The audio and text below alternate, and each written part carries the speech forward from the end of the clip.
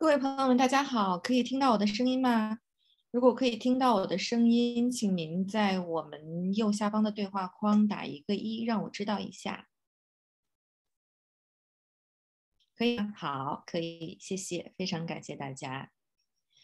好，那各位观众朋友们，大家好，我是华美人文学会的主持人刘畅，我们再一次在一个周末和大家来相聚了，感谢大家今天的参与。那么，对我们的这个活动啊，啊，不能听到声音吗？能听到声音吗？我们这里有可以的，可以的，可以的是吗？啊，好，谢谢，谢谢大家。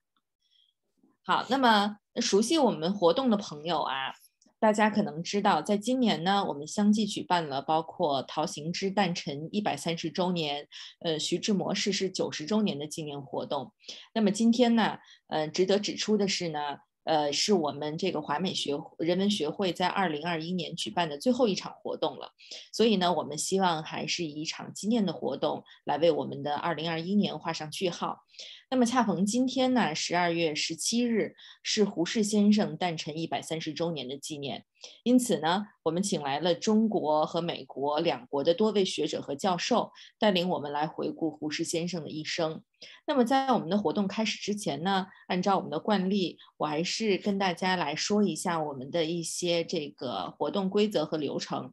那么在您进入我们的这个讲座。的这个会议室的时候呢，您的这个声音和视频是默认关闭的。如如果您的视频和声音不小心被开启，请您自行关闭。我们还是希望呢，我们的嘉宾可以在一个比较安静的环境当中，能够进行今天的讲座和活动啊。呃，那如果有观众对我们今天的嘉宾的话题呢，想进行参与，或者说您有什么问题来进行提问的话，在我们活动即将结束之前，我们会留一部分时间，我带大家来向我们的嘉宾进行提进行提问。那么在我们活动进行的过程当中呢，您可以把您想互动的话题，还有您想提问的问题打在我们的对话框里面，然后让我们来知道。那么我会带大家来进行提问哈。呃，那么还有一点呢，今天想跟大家特别来指出啊，呃，今天我们的这个内容非常的丰富和精彩，所以呢，我们今天可能会比平时的活动时间稍加延长。那么，我希望观众朋友们大家稍安勿躁啊，希望大家可以敬敬请期待我们今天精彩的内容。好了，那么下面呢，我们就有请华美人文学会的联席主席何勇博士来介绍我们今天的活动，以以及今天我们活动的嘉宾，何老师。我讲话可以听到吗？嗯，可以的。啊，好，今天呢是一个特别的日子啊，这是因为胡适先生啊，呃，今天是胡适先生诞辰一百三十周年的纪念日。那么这也是我们此刻啊聚在这里的主要目的。那么胡适先生呢是中国近代史上啊著名的思想家、教育家、文学家和哲学家。那么对于这位二十世纪中国啊。最著名、最有影响的文化名人之一，我所能做的任何介绍啊，注定都是挂一漏万的。呃，我们今天活动的目的啊，就是要研讨和认识胡适先生，所以我在这里呢，就不对他做任何介绍了。那么，我和胡适先生啊，呃，我觉得啊，我是有特殊的关系和感情啊。那么，他是我哥大的校友。啊，是我们华美人文学会啊所属的华美协进社的创始人之一，也是一位前任社长。此外呢，我父亲啊是北大毕业的，呃，在校期间呢，胡适啊正好是校长，所以对我来说呢，今天是纪念学长、社长和校长。我们今天有四位对胡适先生啊卓有研究的著名学者发言。呃，等会儿呢，我会在他们演讲的时候啊，分别介绍他们。下面呢，我就简要的介绍一下胡适先生啊和华美协进社的这个关系。啊，那我来分享一下我的呃 PPT。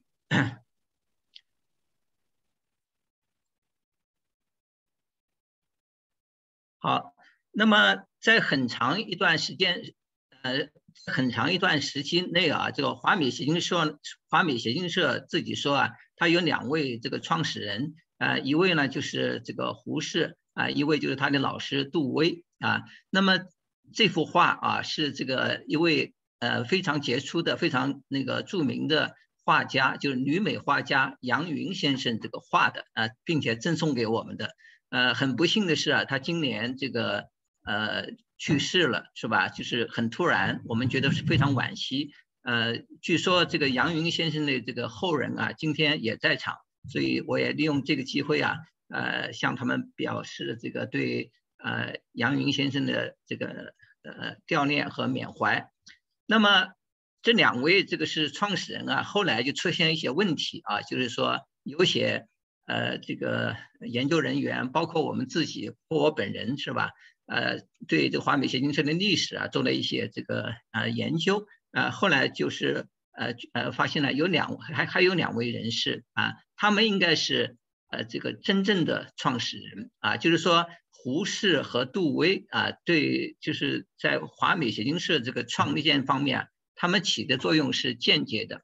而郭炳文和这个 Paul Monroe 啊，Paul Monroe 呢，他是这个哥大教育学院的国际教育研究所的所长啊，就是他们呃两位啊起的作用是更呃直接啊。下面呢，我稍微会介绍一下。那么郭炳文呢，是一九一四年从哥大毕业的，他是这个从哥大那个获得教育学博士的第一位中国人。那么回国以后呢，创立这个南高师。啊，并且担任这个东南大学的首任校长。今年是郭炳文担任东南大学首任校长的一百年。那么华美协进社这个成立啊，呃，就是这个创立啊，它直接的这个呃，就可以追溯到这个，就是胡适啊，呃呃等呃学生回国以后呢，他们是发起邀请啊英美学者赴华讲学。那么这个胡适等啊，这个等里面。啊，就包括这个陶行知，包括郭炳文，呃，包括这个呃蒋梦麟啊等。那么胡适这个杜威呢，是一九一九年赴华，然后是也是一百年前的，就是今年，就是一呃就是一九二一年四月份吧，大概回国。那随即呢，这个梦露啊啊，他也这个呃访华。那么梦露其实呢，早在这个一九一三年就访华，他是。前后共访华是有呃十多次，那么其实梦露对中国的社会的这个调查和这个呃理解啊，要要那个多于这个杜威啊。那么外界评论啊，就杜威富于理想，而梦露呢啊就长于实践。那么杜威和梦露他们回国以后啊，他们有一个感受，就是说他们在中国讲学的时候啊，特别是在。南京、呃北京等地方讲座啊，他们是直接用英文讲，呃讲课，呃就是讲学。他说下面的这些学子啊都没有问题，但是他们回国以后就说，美国人对中国的理解啊是非常之少，包括在哥伦比亚大学这个这个这个地方，包括教中文的老师啊都没有办法能够用中文做一场这个演讲。另外一个学生呢都不能够这个用中文来听讲，所以他们呢就就是呃。提出一个建议，要在呃美国设立一个跟中国文化和教育有关的机构，但是呢，这个这个事情呢，因为缺乏这个呃资金啊，一直没有实现。直到这个一九二四年，这个美国国会啊，就是通过这个呃就是庚子赔款，就是第二批第二第二笔退款呢，呃有一千多万美元呢，呃就是这个事情呢得以实现。那么这个第二批退款的时候呢，呃第二笔的庚子。赔款的退款呢，是当时美国呃政府啊，它有一个条件，这个条件就是说，呃这笔钱呃不能够这个直接给呃中国，不能够交给中国政府来支配，而而需要有一个由中美双方呃建立的这么一个中华文化教育基金会，由他们来支配。那么美国政府可能主要一个考虑就是中国政府啊会不会用这笔资金来用于这个军事啊或者是其他方面。所以，呃，主要是想把这笔钱呢用在教育方面，呃，那么这个基金中基会啊，就是成立呢，是由这个中方十十位人士组成，呃，中方十位人士，美方五个人组成。那么这里面呢，就包括这个呃郭炳文啊，这个十个人中间啊，大部分都是这个教育界人士。那么美方五人呢，是呃首位就是孟露，这个颜惠清是这个董事长，孟露是副董事长。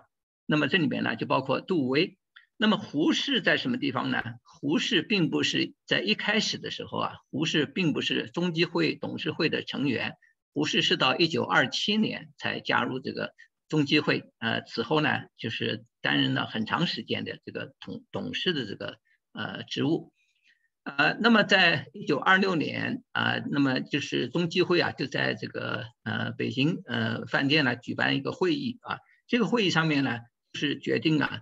就是拨款这个两点五万美元啊，设立这个华美协进社。那么这段话呢，就是取自于这本书啊。这本书呢，就是呃国内一位学者叫李高峰啊写的，我也认识他。那个他这本书呢，是呃在很大一个呃程度上面是呃，就是他也引用了这本书，就是华美这个协进社第二任会长孟志写的。那么这是三年，每年呢提供两点五万美元。那么这也是一个例外，因为这个第二笔那个庚子赔款的退款，当时也有一个条件，这个条件就是什么呢？就是说这这笔钱只能用于国内，不能够拿到国外去使用。那么现在拨款两点五万美元到美国来使用呢，这是一个呃 exception 啊，是一个例外。那么就在这个情况下呢，三个月以后，就是一九二六年的五月二十五号啊，这个华美协进社呢，呃正式成立。那么我今天去查了一下啊，就是两点五万美元，在当时，呃，就是我们现在听起来好像数目不太大，那么现呃，如果是按照现在这个算来，应该是三十六万美元，还是一笔很大的一个呃一笔经费啊，就是三十多万。那么这个当时的这个呃一千两百万的这个庚子赔款的第二笔赔款，相当于现在是要一亿啊七千多万美元。好的，那么当时成立以后啊，这个呃《纽约时报》哎呀也给予这个呃报道啊，这是《纽约时报》。那么这上面呢就是第二段啊，讲的是非常的，我觉得还是那个蛮有呃总呃就是从总结方面来来说啊，他就说这个第一笔庚子赔款的这个退款啊，他是为了让这个中国人了解美国。啊，那么第二笔这个庚子赔款的退款，呃，庚子赔款的退款呢，它是为了让美国人了解中国。那么让美国人了解中国啊，主要是靠通过这个华美协进社来实施的。那么首届的董事会，我们大概看一下啊，呃，这个首届的董事会呢，就是说这个孟露，我们刚才讲的各大的这个教授啊，孟露他是担任董事会的董事长。那么这个董事会呢，里面就包括郭炳文，是吧？然后呢，有首届的这个呃顾问委员会，这个顾问委员会里面呢，呃，就是包括这个呃杜威啊，也包括胡适啊，当然还有很多这个呃中美的呃名流啊。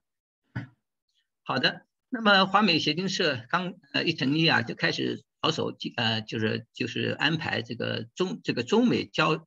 中美的教授互访，就是美国教授啊去中国，中国教授呢去呃来美国啊进行讲学。那么第一批的这个应邀的学者啊，就包括这个，包括胡适啊和其他很多这个呃著名的学者。那么呃一九三零年，就是华美协进社做的另外一件大手笔啊，就是邀请梅兰芳访美啊。这位呢是美国前总统啊威尔逊啊他的夫人。就是专门去北京啊，去见那个呃梅兰芳和梅兰芳的这个夫人叫福芝芳啊，就是安排这个呃梅兰芳访美事宜。那么在这个过程中间啊，就是胡适呢，就是专门为这次活动啊，还写了这个文章。这个文章呢是呃是用英文写的啊，主要是向美国的这个民众啊介绍梅兰芳和美和这个中国的京剧。那么。当时这个华美协进社呢，为了在中国就是拓展业务啊，就成立了一个就是中国委员会。这中国委员会呢，呃，里面这个这个成员啊，就有就包括这个胡适啊。那么当时这个办办公地点啊，就在上海的沪江大学。好的，那么我们大家都对这个这块。这座楼啊都非常熟悉啊，这是在那个纽约这个上东城的一座楼啊，我们我自己也在里面工作过很多年。那个这个这栋楼呢是一个四层楼的一个小洋房啊，是当时是由美国的那个报业大亨啊，就叫亨利·路斯，他是美国的两份杂志的创始人，一份是《生活》啊，一份是《时代》。那么他就买下了这栋楼，赠送给这个华美写经社，作为华美协协经社的这个设置。那么，呃，这个正式开幕仪式啊，是一九四四年的十二月一号啊。那么当天呢，就有六百多这个来自于中美的那个贵宾啊出席。那么胡适呢，在上面就是做了一个呃讲话，就是讲留美这个中国学学生啊，对于这个中美关系是贡献啊，这也是一个。当时也引起了很大的轰动呀！就是当天啊，就是一九四四年十二月一号啊，胡适呢和一些嘉宾在这儿的合影啊，就是胡适，就是中国这个驻美国大使魏道明啊，这位是华美写经社的首任那个社长啊，郭炳文啊，这是第二任社长是孟志，那么这一位呢是这个 Henry Luce 啊，就是那个。时代和那个生活杂志的啊，他是在中国出生的，呃，那个中国山东啊，他是呃，就是他把这栋楼啊，呃，这个赠送给那个华美写经社的。那么这一位呢，是他的母亲啊，就是那个 Winter 啊，叫 Winter l o s e Moore 呀，呃，那么是在华美写经社建立以后啊，呃。呃，那么胡适呢，也是积极参与这个社里面的很多活动，是吧？四十年代呢，那么就是呃，胡适呢参与了一些讲学活动啊。那么当时他正好是在美国呃担任这个驻美大使，呃，那么这一场活动呢是在这个呃一九四五年这个抗战胜利以后，华美协经社呢就在这个纽约的罗斯福酒店，这个酒店非常有名，它就在联合国的旁边，呃，那么。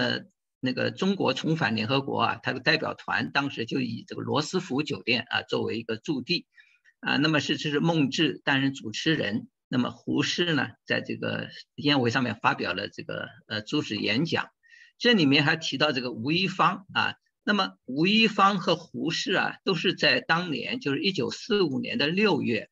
呃，他们是作为这个呃中国出席这个就是在联合国那个宪章上面签字的诗人代表团的成员，啊，所以我想他们这次到纽约来啊，是为了参加这个这个联合国正式成立的活动啊。六月份在旧金山那个是签署联合国的宪章，那么他们年底呢又到呃又到了呃这个联合国来参加这个正式的活动。我想这个活动啊，可能是。顺便啊，就是在那个参加这个华美协进社举办的活动，啊，然后呢，这个是中国政府啊向这个美军颁发奖学金，那么这个奖学金呢也是这个由华美协进社负责这个实施的呀。这个评选成员里面呢也包括这个胡适呀，还有赵元任啊、傅禄德啊。傅禄德是哥伦比亚大学汉学系的首任啊系主任啊，也是一个非常那个呃。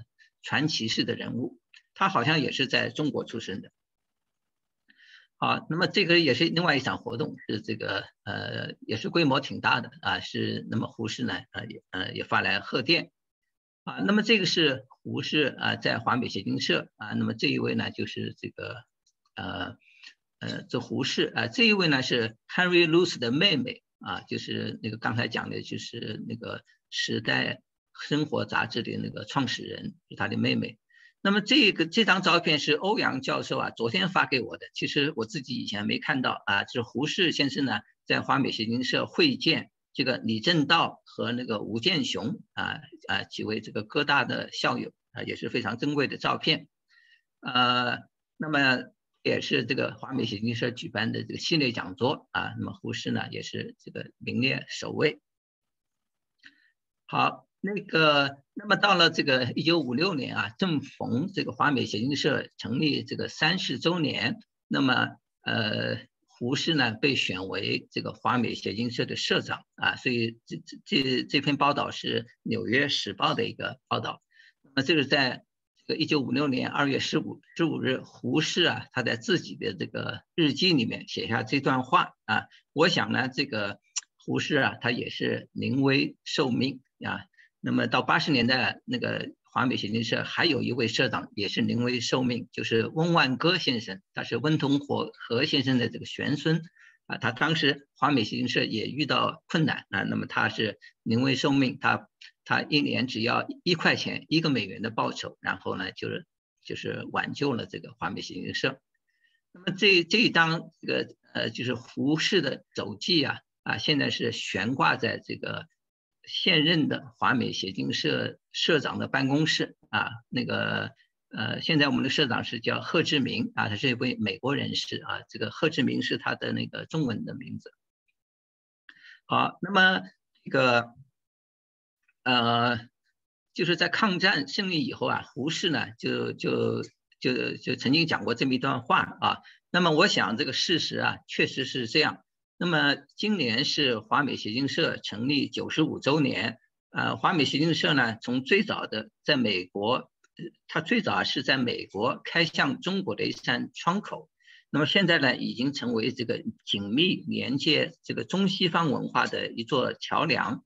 我们今天举办的活动啊，呃呃，也将载入华美协进社的。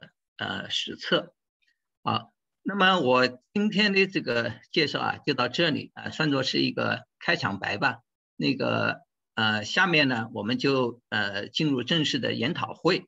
呃，我们今天呢有四位对胡适啊，呃有深入研究的发言嘉宾。呃，我呢就按照他们的姓，就是我们准备啊是是按照他们的姓氏拼音顺序进行。每位嘉宾的发言时间呢为二十分钟。那么在四位嘉宾发言完毕后呢，我们统一安排一个提问的环节。好，我们第一位这个发言嘉宾啊，是来自这个北京大学历史学系的欧阳哲生教授。那么欧阳教授啊，是教育部长江学者的这个是长江学者特聘教授，主要是从事这个中国近现代思想史、中西文化交流史研究。呃，他现在担任这个呃国家社科基金重大项目《胡适年谱新编》的首席专家。欧阳教授呢，写有大量关于胡适的著作和文章。呃，除了我们在宣传材料里提到的这个呃自由主义之类胡适思想的现代阐释，探探寻胡适的精神世界和其他编著的十二册胡适文集之外啊。呃，欧阳教授下周还将出版两本新书啊，一本就是《胡适与中国新文化史实与圈识》，呃，那么呃还有一本书呢是《胡适的北京呃情缘》啊。欧阳教授今天的讲题是啊，作为中国大使的胡适形象，以《纽约时报》《华盛顿邮报》报道为例案为案例的这个讨论。下面就让我们隆重请出欧阳教授。欧阳老师，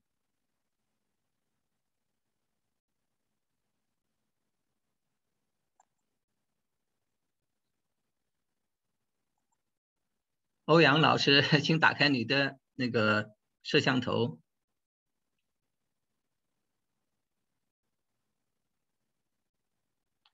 刘畅，要不要协助一下？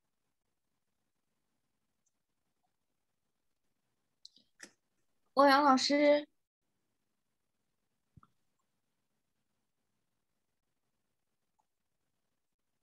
呃，我来看一下。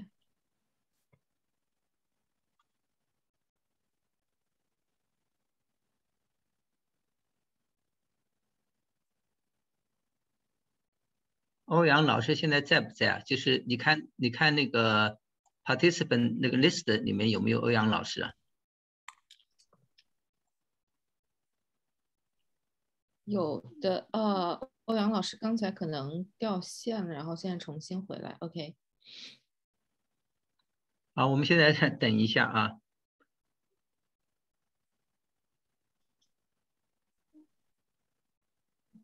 欧阳老师，现在您可以分享吗？嗯。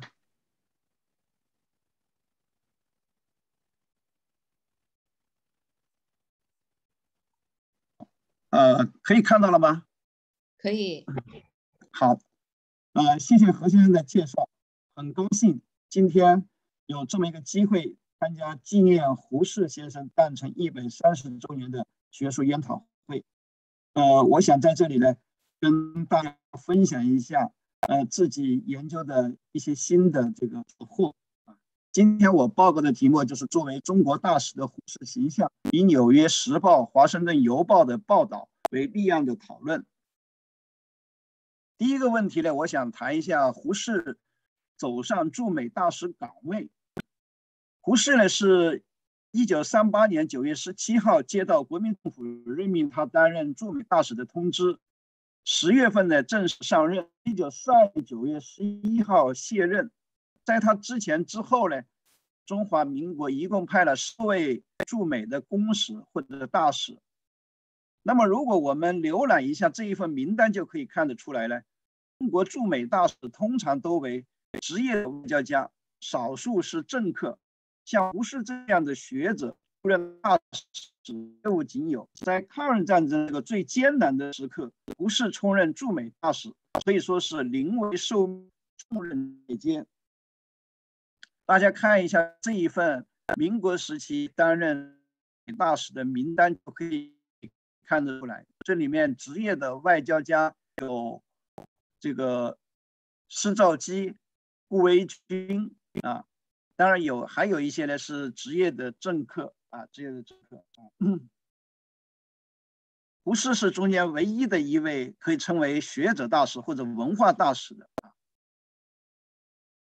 关于胡适担任驻美大使的工作评价呢，过去有一些相关的研究成果，像唐德刚先生、张中栋、耿云志先生。傅爱民先生、莫高义、李传喜、胡慧君，他们都有相关的一些论文或者论著来探讨，专门探讨这个问题。西方的历史学家格瑞德、赫尔在他们的论著或者论文中也有涉及。那么最近有关这个专题的论文呢，主要有这个。呃，齐锡生先生的《从舞台边缘走向中央：美国在中国抗战初期外交视野中的转变》这本专著，这本书呢，对胡适的使美工作呢做了最为详尽的讨论。相对于他的前任王正廷先生，胡适不管从外交能力还是从工作效率来看，他要胜出很多。但是与1940年赴美谈判的宋子文相比，在齐先生看来，胡适又似乎较为弱势，没有做出实多少实际的贡献。呃，应该说，这个齐先生这本著作呢，在材料的占有上是大大超过了以往的研究。那么今天呢，我想调换一个视角，就是从美国方面的这个舆论反应，看看他们对于胡适使美的评价。呃，去年呢，我指导了一位留学生，呃，写作一写作这方面的一些论文。这位研究生呢，他收集了这方面的材料，但是他着于中文表达啊，所以今天呢，我实际上在他收集材料的基础上呢，又把整个材料重新梳理一遍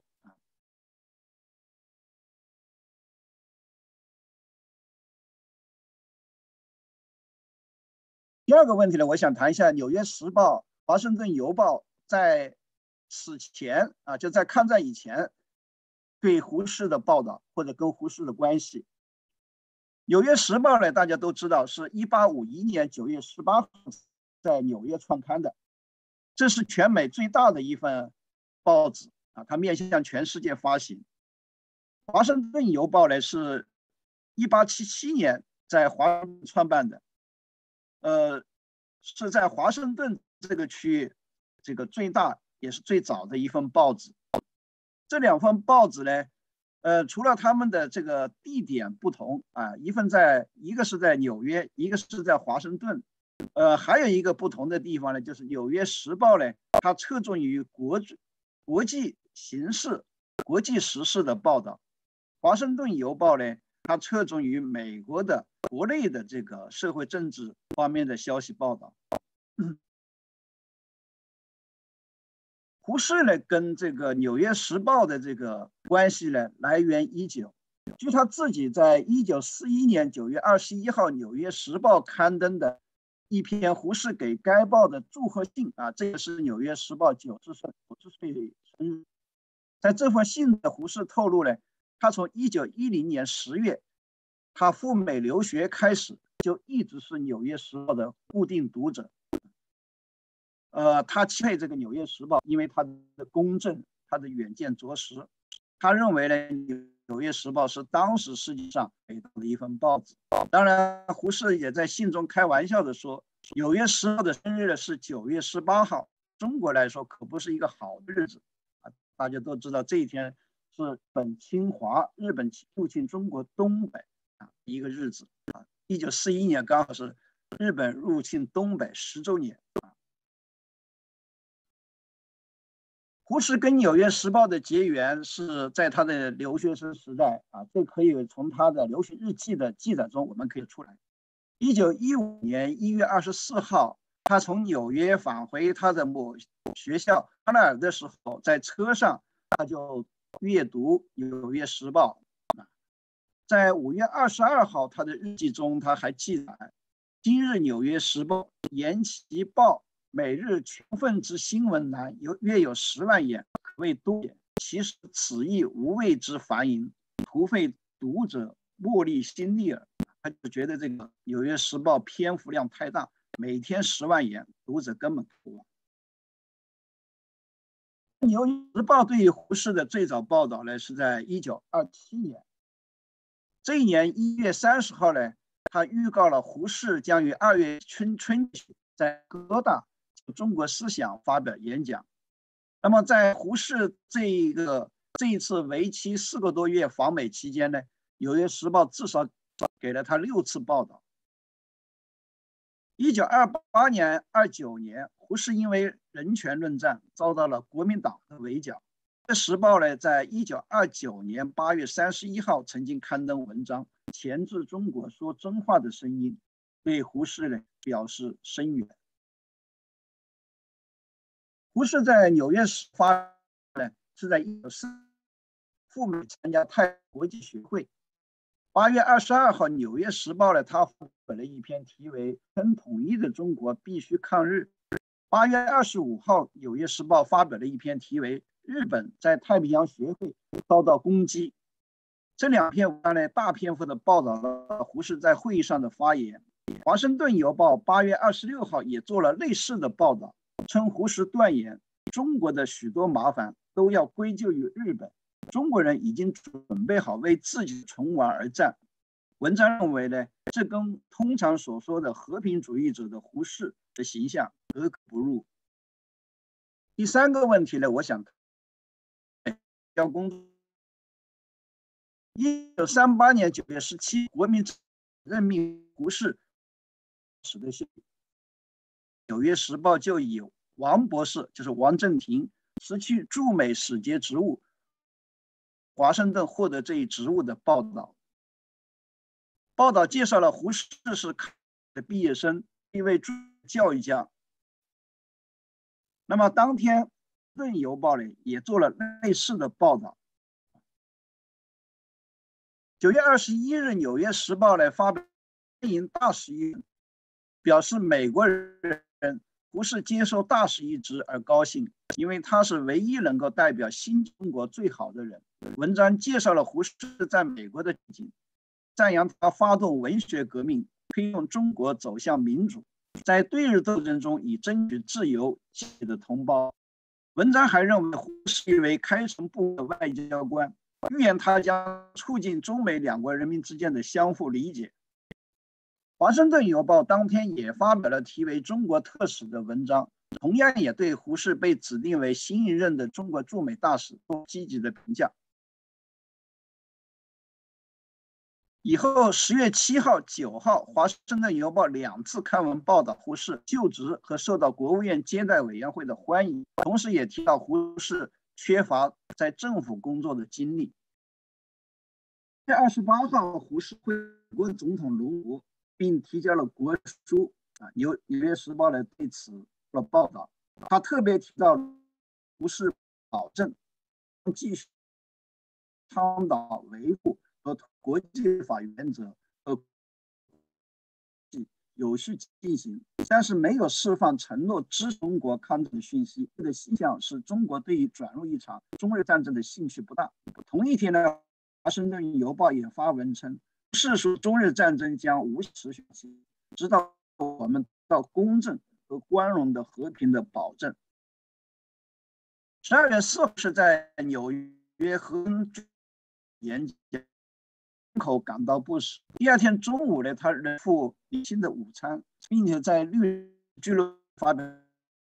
十二月五号，《纽约时报》尊敬的主题在和声俱乐部的演，不是在讲民主国。如果加入对日作，至少要停止向交战国提供战争武器或者战争物质。《华盛顿邮报》呢，十二月五号也报报道，他原不是的话说呢。中国解血战不打持久的战争，我们就不能消灭敌人。胡适因病住院以后呢，十二月八号，《纽约时报》在一篇题为《胡适博士》的报道中，首次对外公布了胡适的病情，并且说明胡适正在哥伦比亚长老会的医疗中心哈克尼斯剧住院部休息。他的病呢，是因为最近在华盛顿演讲时出现的轻度的过度疲劳引起。华盛顿邮报呢，他没有报道胡适的病情，只是一九三九年一月四号的是否在五十一个国家的外交官的新闻中提到，中国是唯一没有出席这个晚宴的国家。这实际上呢，就委婉的告诉外界，当时还在住院治疗。一九三九年二月二十号，胡适出院以后呢，《华盛顿邮报》在二第二天就刊文报道中国大使回来了。文章称呢，在纽约病了一段时间的胡适与昨晚回到了华盛顿。一个月以后，胡适的身体逐渐恢复。《纽约时报》《华盛顿邮报》又开始出现各种活动的报道。从后续的报道中，人们是否感受不到疾病困扰胡存在？也没有产生不能负面印象。一九三九年五月八号，胡适做了一次体检，啊，他身体基本上恢复了正常，所以又开始活跃起来。六月五号，胡适只身前往纽约。六月六号呢，在哥大的毕业典礼上，胡适被授予荣誉博士学位，这是他担任大使后获得的第一个荣誉博士学位。六月七号呢。纽约时报对他参加这次活动的讲话做了个报道。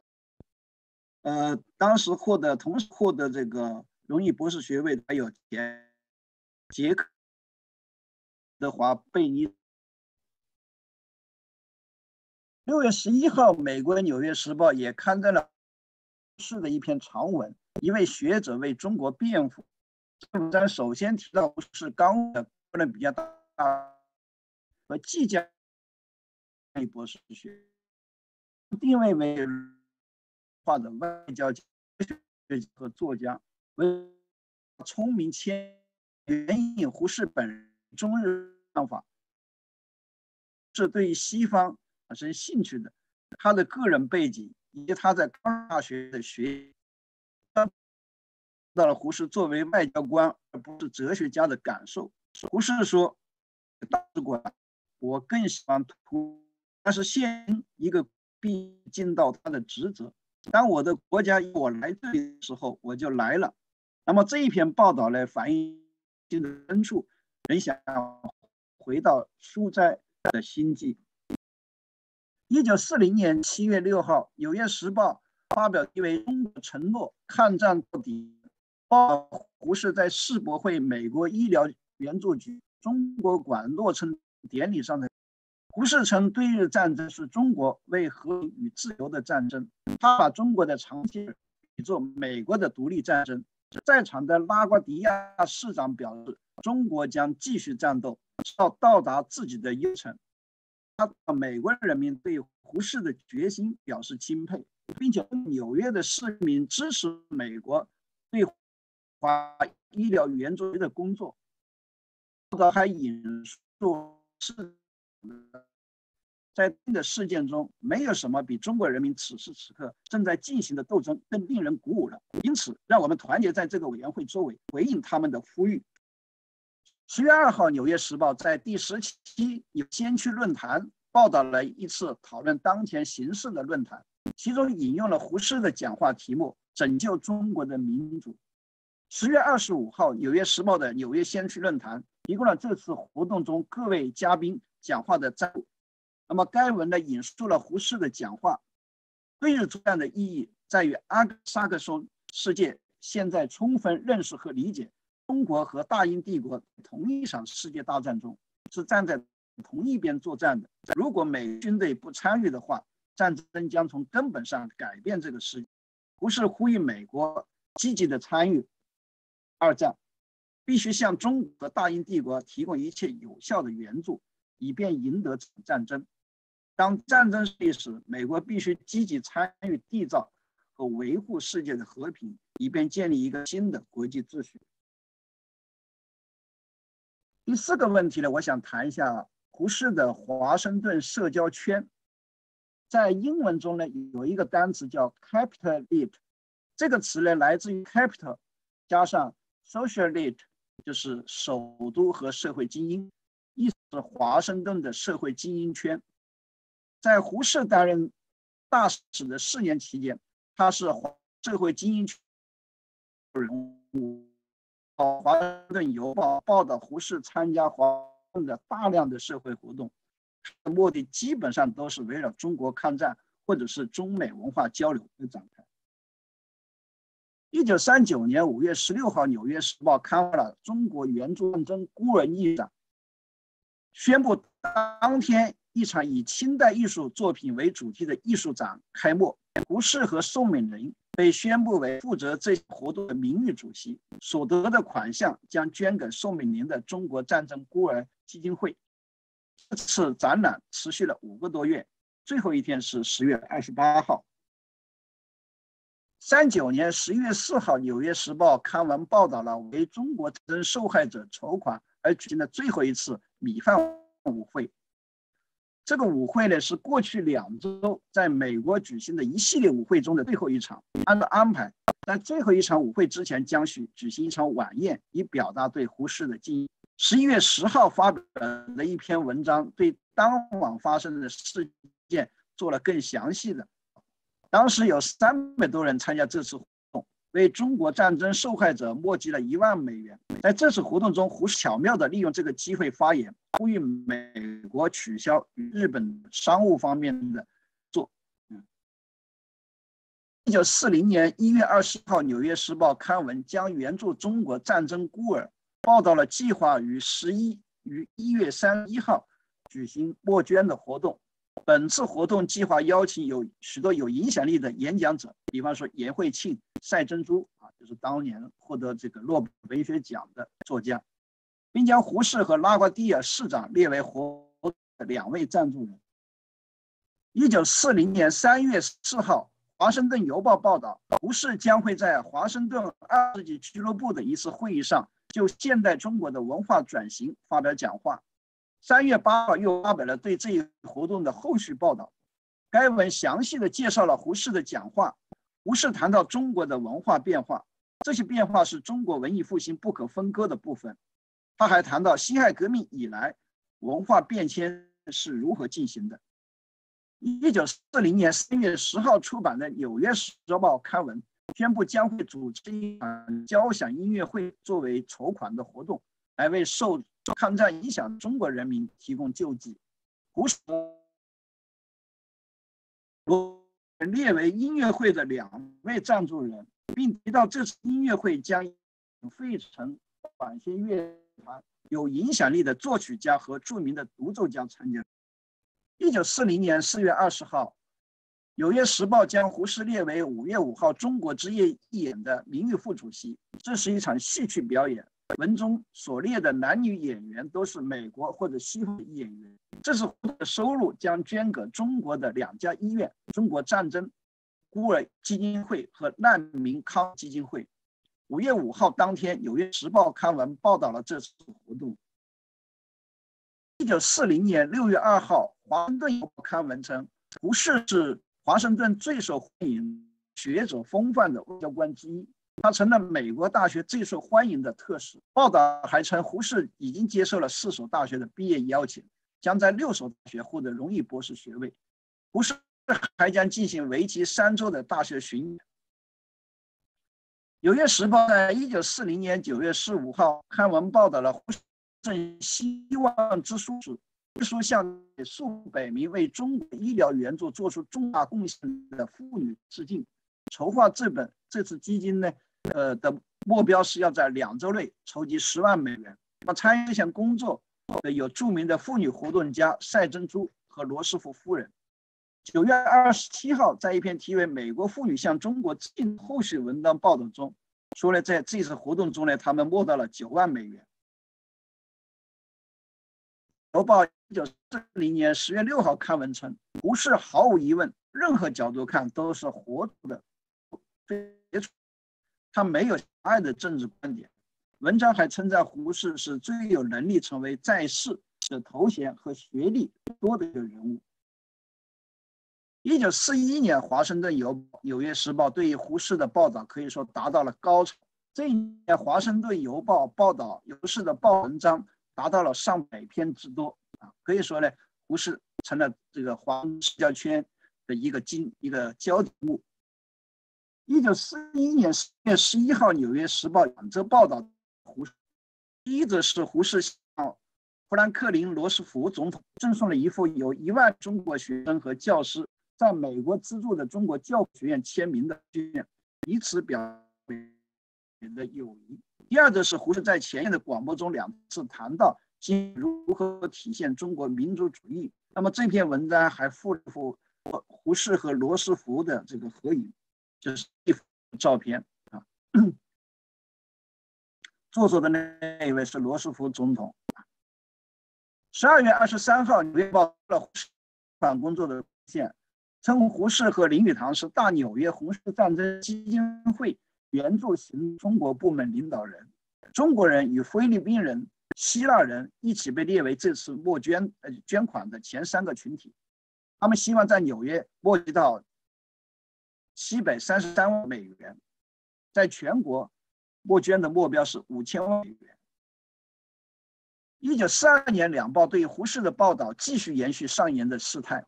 一十一月二十五号，胡适《华盛顿邮报》发表了一篇长文。胡适大使是一位诗人和学者，记录了胡适过去在华盛顿的生活。文章称他是一位和蔼可亲、乐于助人的大使。文章还讨论了胡适在推广白话文方面所起的作用，谈到了胡适在华盛顿的生。《华盛顿邮报》六月三十号还刊登了一篇长文，一篇文章介绍胡适的。介绍胡适，称胡适在过去六个月里已经行驶了三点五万多英里，他获得的荣誉博士学位比罗斯福还多，发表的演讲罗斯福夫人还多，收到的向大型集会演讲的邀请也比任何外交使团其他成员要多。艾文还写道，胡适在无数次的救灾会议面前露面，在无数的午餐会和晚宴俱乐部发表演讲。并在尽可能多的毕业典礼上发表演讲，使自己的日程安排得非常紧凑。文章最后称，没有一位外交官像胡适这样受更受欢迎，无论他走到哪里，都是人们关注的焦点。华盛顿邮报可以比较关胡适参与的活动。呃，您可以把您剩下的内容，我们快速的简略的。对，可以，我就快了，还有两分钟，还有两分钟。呃，华盛顿有比较关注胡适参与的社会活动，称胡适是一个 capitalist 啊，就是我说的这个英文单词啊。第五个部分呢，我想谈一下胡适对卸对胡适卸任大使的反应。一九四二年九月呢，胡适卸任驻美大使，那么这件事呢，在两报呢也做出了积极的，也也产生了热烈的反响。对胡适热烈的工作呢，他们都有评价。九月二号，《纽约时报》以“胡适大使被中国召回”为题报道，称胡适是一位杰出的中国家，他一直为国家的事业积极奔走。《华盛顿邮报》九月二号也做了报道，称胡适是有史以来最受欢迎的中国驻华使、驻外使节。九月三号，《华盛顿邮报》又刊登了一篇 “Distinguished Service”。这个特别指出来，胡适将被人民、美国人民怀念。为了他从东，为了自己的国家服务，他从东海岸走到了西海岸，向听众演讲，他在很大程度上促进了美国对中国面临的许多问题的了解，包括文化和军事问题的认识。胡适看到了美国从普遍的中国抗战支持做一个转变过程。《纽约时报》九月五号也看了荷尔赞扬胡适一篇短文，称胡适呢是中国政府在华盛顿外交使团中最能干、效率最高的公务员之一。那么，这个《华盛顿邮报》和《纽约时报》呢，都对胡适的做了呃的卸任啊，这个期间呃做了很积极的。啊，还有几篇文章我就不不讲，呃，不多念了。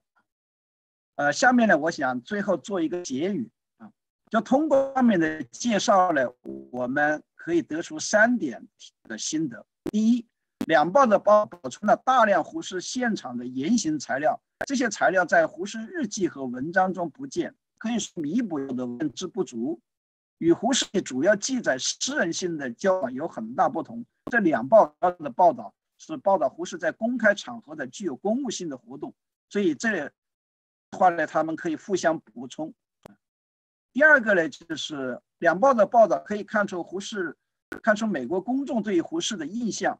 一国大使毕竟代表一个国家的形象，一个给人好感的大使，易让人在他国给在地国人民亲近感。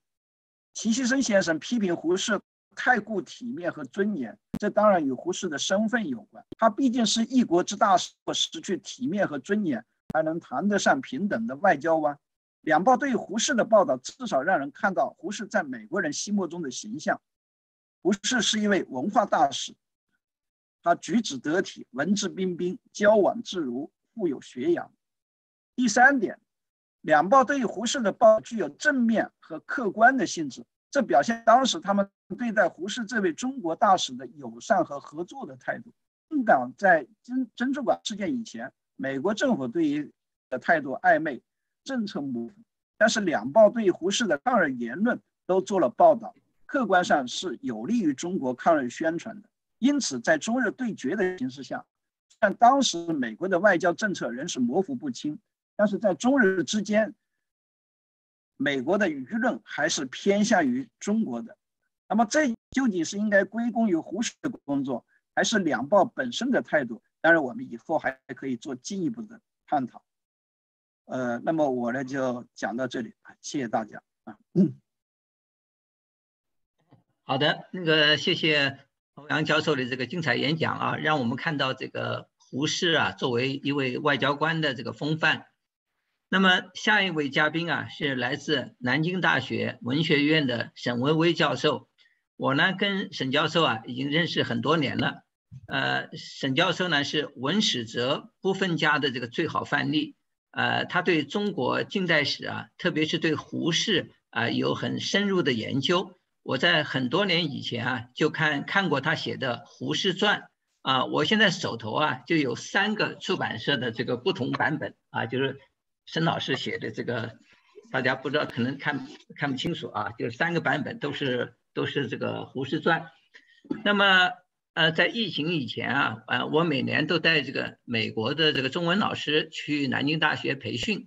那么沈教授呢，几乎每年都给我们的学员呃上课或者是做讲座，内容大多和这个胡适有关。所以我们今天在座的有不少在南大听过沈教授讲座的学员。那么沈教授今天的讲题是胡适的家庭教育理念与胡适度的人生悲剧。下面就让我们隆重请出沈薇薇教授，沈老师。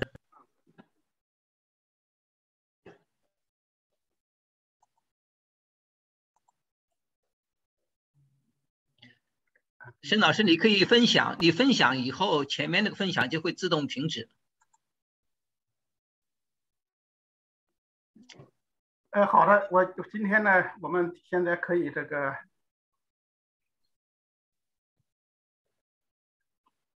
呃，大大家好啊，今天呢，我们也有兴致来了，呃，也是有这么个机会啊，呃，我和大家一起作为对胡适先生的一个纪念。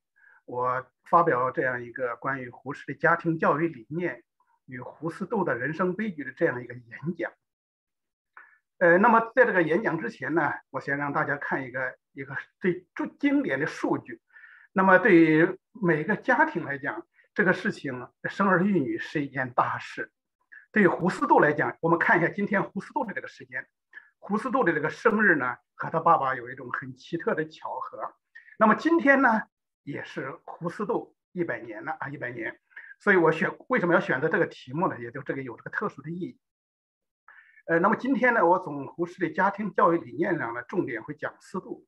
为什么呢？我想对于我们这个大千世界来讲，对于一个普通的儿女来讲，爸爸是那么一个有名望的一个有身份的人物，作为一个小的儿女，很难对父辈有一种形象啊、事功上的超越。一个普通的人呢，在这个人海茫茫中，可能就是一粒雾灰尘。或者就是一滴一棵小草，那么正是因为胡适的这个缘故呢，思度是进入我们的视野，哎，进入我们的视野。在今天呢，我想对胡适缅怀胡适一百三十周年这个这么一个日子里，我对思度也做了一点纪念，也同时发出了我对思度的一种人生的感慨。嗯，那么这张照片呢，是胡适当年呢。呃，他的太太江冬秀和三个孩子一起照的。那么其中呢，思度是是小的嘛，因为中间还有一个呃，就是女儿，女儿大概在一九二五年呢就生病，用我们现代话就是呃肺病结核病。我想对这个女儿呢简单提一句，因为接下来我不讲了。胡适有两首诗写到这个女儿，说有一首诗写到说，当年女儿在西山养病的时候啊，晚上妈妈给她炖了一炖了一只鸡，她舍不得吃，她说要等爸爸回来，等爸爸回来吃。这么就是胡适，因为胡适做白话文的时候呢，他用很深情的向我们用诗歌的一种传达。最后还有一首诗呢，他写到这个女儿啊，后来他远在万里之外的美国啊，有一天做梦了，梦到女儿了，说我醒来的时候呢，我枕头啊都湿掉，我的眼泪啊已经想到女儿了。他说这么多年来，我做爸爸不胜任，女儿过早的夭折了。我想今天呢，我就从这个角度来进入我们对胡适的一种感知啊。这是江冬秀带着三个孩子的照片，呃，好。那么今天呢，我会讲到呃思度的问题，因为这个家庭的悲剧呢，我先从这个家庭的这个理念慢慢推伸到他自己的这种教育理念。呃，思度小时候也是身体不好，因为大家知道，在这个中华民国之前的晚期清代呢，结核病很多。到了民国，由于这个链霉素和雷美风这种抗结核病的药啊，没有中国还不行的时候，所以很多人是死于肺病，甚至是比结核病。中国早期很多作家，比如茅盾呐，呃，像包括鲁迅呐，他们都是因为结核病的缘故。呃，那么胡适家里边呢，胡适的女儿因为是肺病、结核病，司徒小时候也患了结核，因为知道结核病是一个传染病嘛，所以司徒小时候因为病的关系呢，上学没有读好。对胡适来讲呢，这是人生很疼的一件事儿。比如说，女儿因病夭折了，小儿子读书又没有读好，所以他让他这个罗尔刚，让他当年那个学生研究太平天国史的专家呢，到家里头给做家教。做家教重点的是教胡适，就是帮胡适整理的胡适爸爸的这个东西，同样的教这个司徒读书，教司徒读书。那么这个司徒呢，有一个特点呢，就是用我们现代话说，小时候因为生病的缘故，没好好读书。因为大家知道，我们做教育的都知道，这个一个孩子呀，小时候读书没有养成好的读书的习惯，大了之后很难很难再把它扳回来，很难慢慢把它归到正道。司徒就是这样的，司徒小时候呢，因为没好好读书，所以胡适到美国去做大使的时候呢，就托他在北京那个上海那个朋友叫周耀生代管，因为大家上海是租界嘛，江冬秀没有去，就带着司徒在上海。可是呢，后来啊，这个周耀生就给胡适写了封信，他说：“司徒小三儿，老三呢。”说读书没有上进呢，我怕他沾染上上海这个扬长恶少的恶习了。老兄，你赶快注意，给胡适写了封信。那么在这个时候呢，胡适就托他一个很著名的朋友啊，呃，叫施泰尔。那么现在的翻译成施泰，因为这个友邦保险的缔造者当年呢，在上海从事这个这个保险业，他在整个东南亚、整个亚洲啊，很大的金融机构嘛。所以这个施泰尔就把这个。用录像啊，把司徒拍点这个照片，叫胡适拿回拿到录像到美国看了。这个胡适一看呢，说司徒走路摇头摆耳的，赶快告诉江冬秀说：“说不要叫他养成上上海扬长恶少这个这样一种样子了，说赶快想办法拯救这个孩子，拯救这个孩子。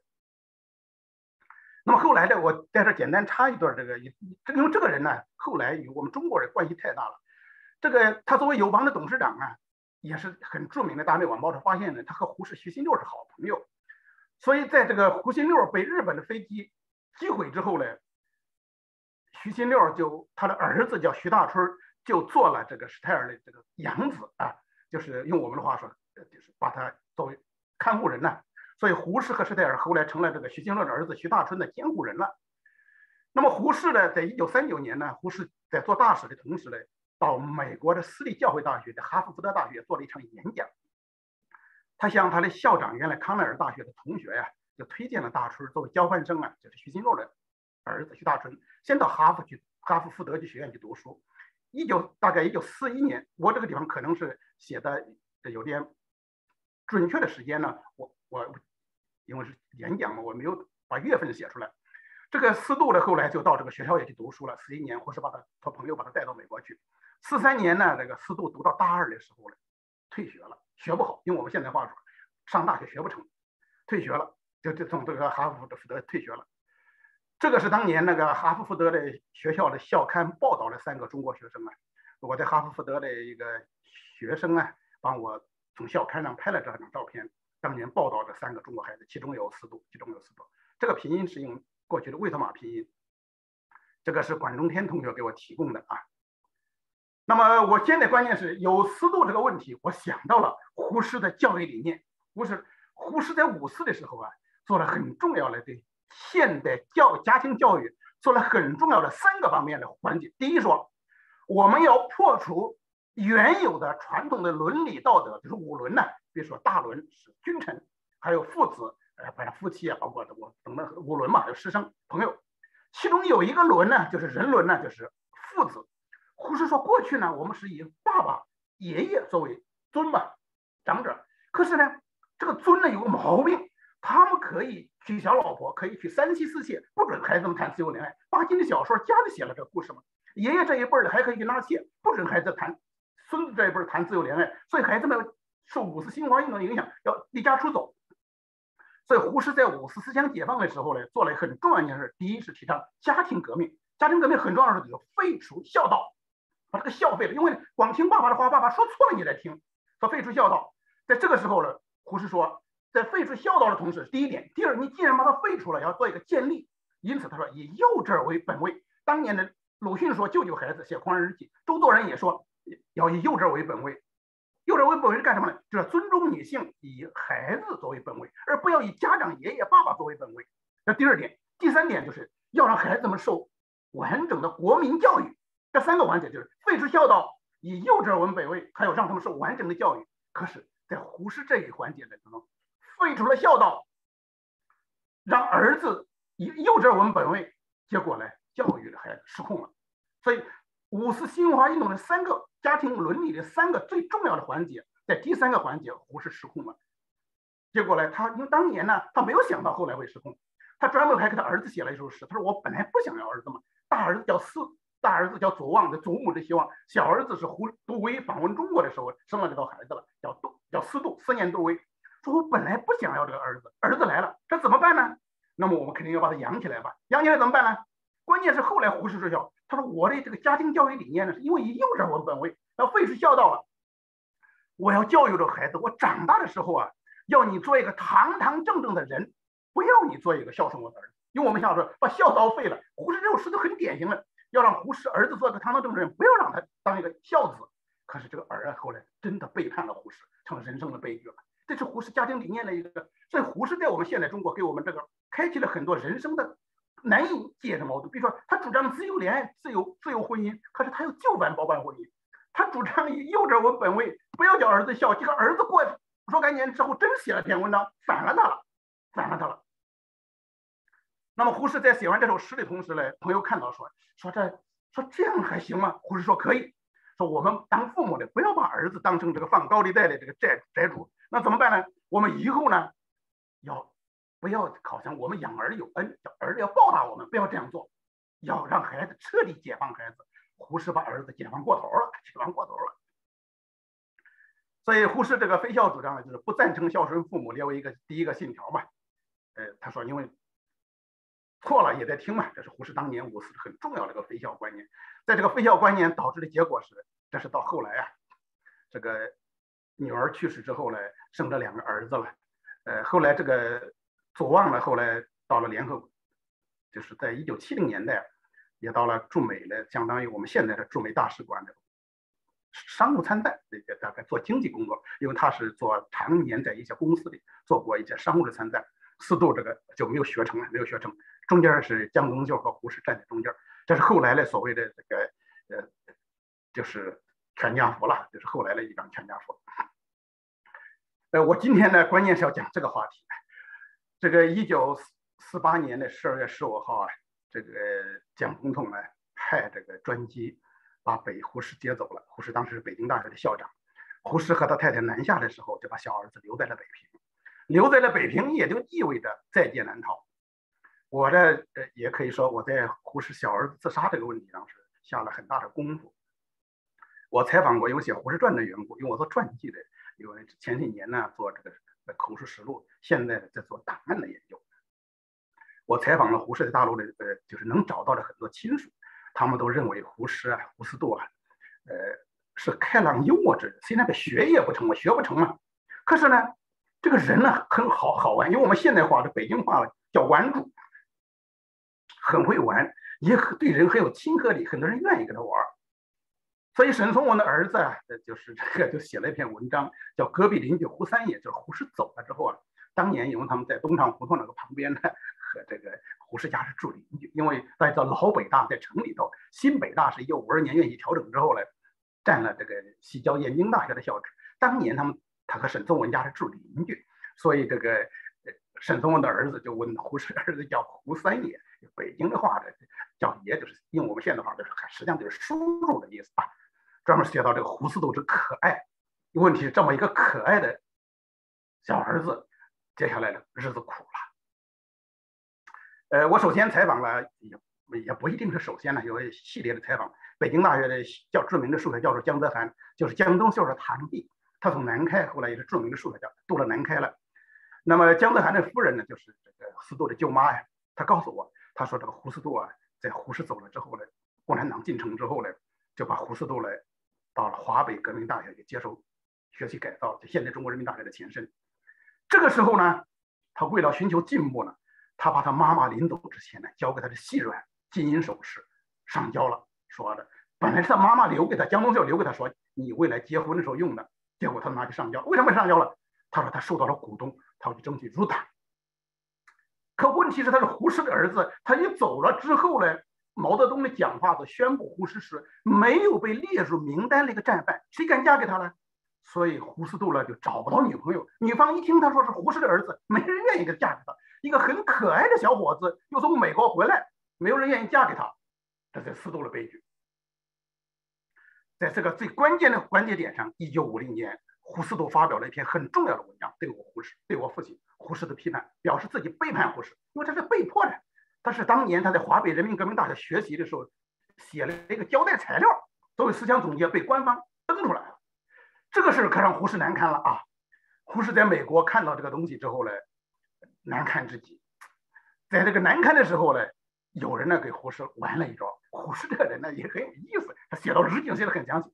当年呢，有一个驻苏联大使馆的官员叫吴南如，他怕胡适承受不了。他跟胡适说：“他说，你看司度现在呢写了，反正你没啥关系嘛，因为他这个政治问题嘛。他说当年呢，蒋经国在一九二七年呢，蒋介石搞这个所谓 C 二的时候，蒋经国正在苏联留学呢，他也被迫发表了一篇批判到爸爸的文章，批评蒋蒋介石的文章。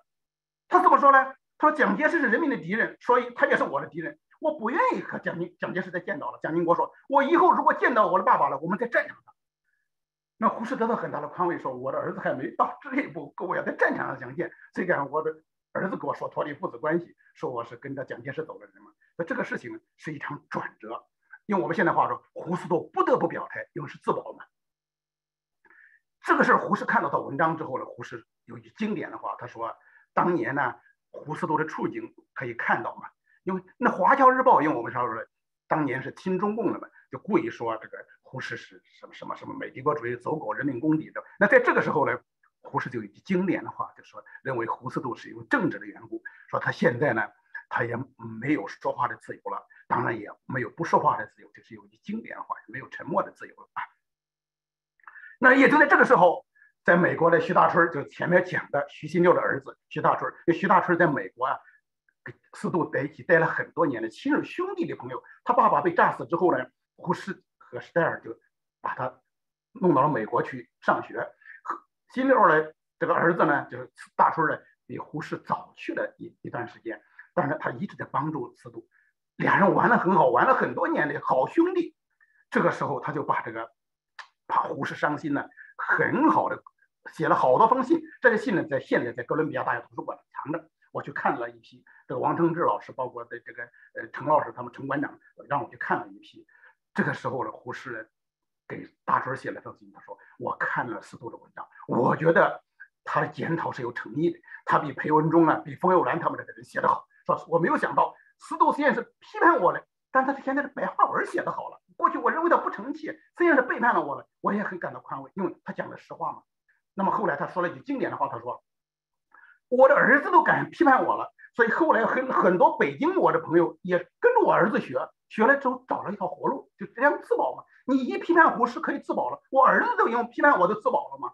那么他他说我的儿子比别人文章还写得好，那胡适当然也是自己这样宽慰自己的，但是说明胡适这个人有一种他晚年嘛容忍比自由更重要嘛。他对儿子这样一种背叛也做了一种容忍，而且在容忍的时候说容忍司徒这样做救了自己一条命，别人向司徒学习。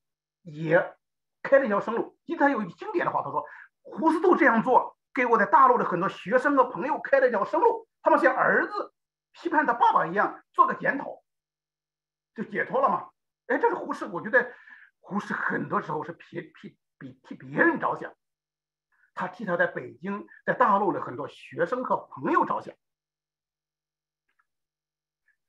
问题是，四度的悲剧来了。到了一九五七年反右的时候，因为他要求想入党，很积极，他就被那些所谓洋务者引蛇出洞，叫他积极的发言呢。这个发言的结果呢，是被登到这个一九五一九五七年五月二十号的《人民日报》了。结果呢，把胡适这个司徒的讲话给翻出来。因为大家知道，这个反应过了几个月之后，很快变了，调子变了。结果司徒被打成右派了。所以司徒在这个时候最困难的时候说：“我已经背叛了父亲了，现在连女朋友也找不到了，连妈妈留给我的金银细软都上交了。”现在我落了个什么都没有。当时胡适度在，已经从北把他从北京赶出来，赶到哪儿了？赶到唐山铁道学院了。现在唐山铁道学院已经不存在了。后来三线一九七零年代三线建设的时候，唐山铁道学院迁到四川，现在就西南交大了。那么司徒在这个时候呢，觉得彻底的绝望了，既背叛了父亲，现在又被成为右派了，最后自杀了。这是司徒的悲剧啊。我采访了当年呢为胡适都收尸的胡思梦，呃，胡思梦呢当年是北京铁路局这个工人，呃，他把这个当年司徒的遗书交给了，让他说这个当年呢司徒的遗书，严真武，安徽省机器县的政协副主席，严真武就看过，这个最后呢，也给耿先生看过，那能够能够看到的就一点点，工作好好学习，为社会主义立点功，五十亿元留给你们，就因此我和耿老师推测，在九月二十一号写完这个遗嘱之后，他就自杀了。自杀了。当然，你说这个二十一号到底是几点几分，我们没有办法确定，因为在当时那个声讨之中，胡胡思梦告诉我，他到唐山铁道学院去收尸的时候，满园子贴的都是大字报，其中贴这个胡思都的大字报最多，硬是把他和他的爸爸绑到一起，把他爸爸虽然是背叛了爸爸还不行，把绑到一起，在批判胡适的同时，批判胡思都，在批判胡思都的文章中，一定要把胡适拉出来，就是父子两个绑在一起批判，受不了自杀了。所以这个胡思梦说：“我呢，就把胡思度的这些遗物呢，用一个板车，我从唐山呢拉回北京来，保存了几十年呢，保存了几十年。后来说这严正武来了，给一点；北京的胡明来了，给他们一一几本书。最后的一批一批一批的遗物到了我的手中。呃，胡思度最后的遗物啊，现在在我的手中啊，在我的手中。大概因为当当时我记得很清楚，两捆书，这一捆子是大的，还有一小捆子是小的。”大概从三十年了嘛，三十多年了。大概从北京搬到我在读博士时候搬到南京，搬到河南，最后又又搬回南京。大概前后搬家搬书房，前后折腾了十几次，现在能够找到了，还剩着七册精装本，剩下的还有一捆子，现在找不着了，不知道到哪里去了。那一捆数相对小一点，大概还有十册左右，找不着了。这些书是什么呢？都是司徒当年在美国，有些是胡适在美国留下来的，有些司徒他有一部分人呢，当年上头有有签胡适名字，他们害怕都给撕掉了。所以现在这些书都是关于美国的历史，关于美国的鸟类，就司徒在那待了好多年嘛，一些精装的读就历史、植物、动物的书，现在还留在现在在我的书房里头，和胡适的全集呢放在一起，作为对胡适纪念。好，这是我今天演讲的主要内容。我想通过这么一个故事啊，呃，也是对这么一个小人物的一个纪念。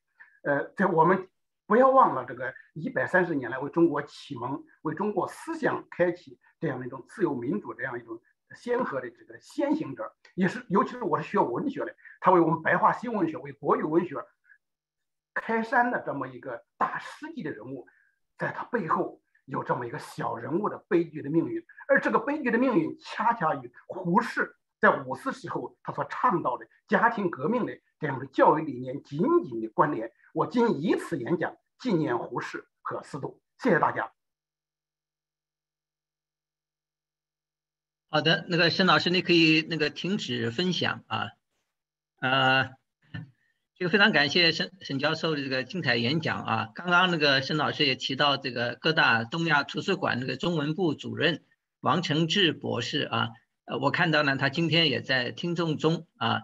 那么王承志老师呢，跟我们今天的几位嘉宾啊都是好朋友啊，为他们的研究胡适啊和其他的这个各大毕业的杰出校友啊提供了这个得力的协助。那么刚刚从这个沈教授的演讲中啊，我们看到一个。身为寻常父亲的胡适先生形象，啊，他的期待和他的遗憾，还有他的家庭悲剧。那么我们下一位这个嘉宾啊，是来自哥伦比亚大学东亚系的王海龙老师。那么我跟王海龙老师啊，有四十多年的这个友情啊，我们有着很多相同的经历。我们毕业于同一所大学，又在同一所大学任教。啊，这个就是江苏师范大学，后来呢，又在哥大同一个系啊，就是人类学系，我们在一起呢读研究生。那么几十年来呢，我们有过很多次合作啊，我非常这个仰慕他的学识啊，他的研究涉及到这个中外文史哲的各个方面啊，因为在哥大，所以他有这个得天独厚的优势，可以深入了解近代毕业于哥大的中国名人的情况。那么他写的这个《哥大与现代中国》这本书啊，一直名列畅销榜啊，畅销书榜。那么王海龙老师今天的讲题是晚年的胡适啊，胡适的可能性。那么下面就让我们隆重请出王海龙老师。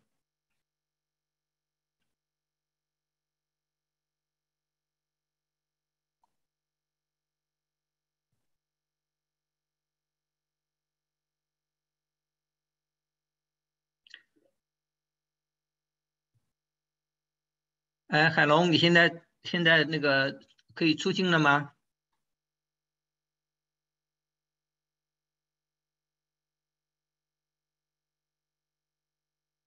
刘畅，你能看到王王海龙老师吗？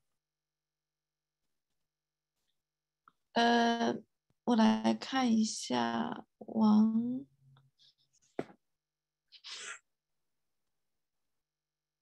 呃，王老师这边是您的声音是那个静音的，您可以把您的声音开启吗？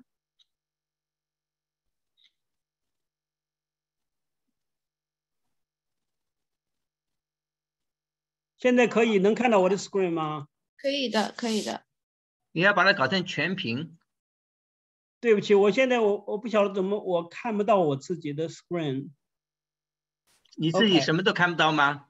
我现在现在能看到我的屏幕，你们能看到吗？现在啊，现在可以啊，你自己能看到吗？我看不到，没关系，我能看到我的 PPT。我先这样先讲吧，我我怕耽搁大家的时间啊。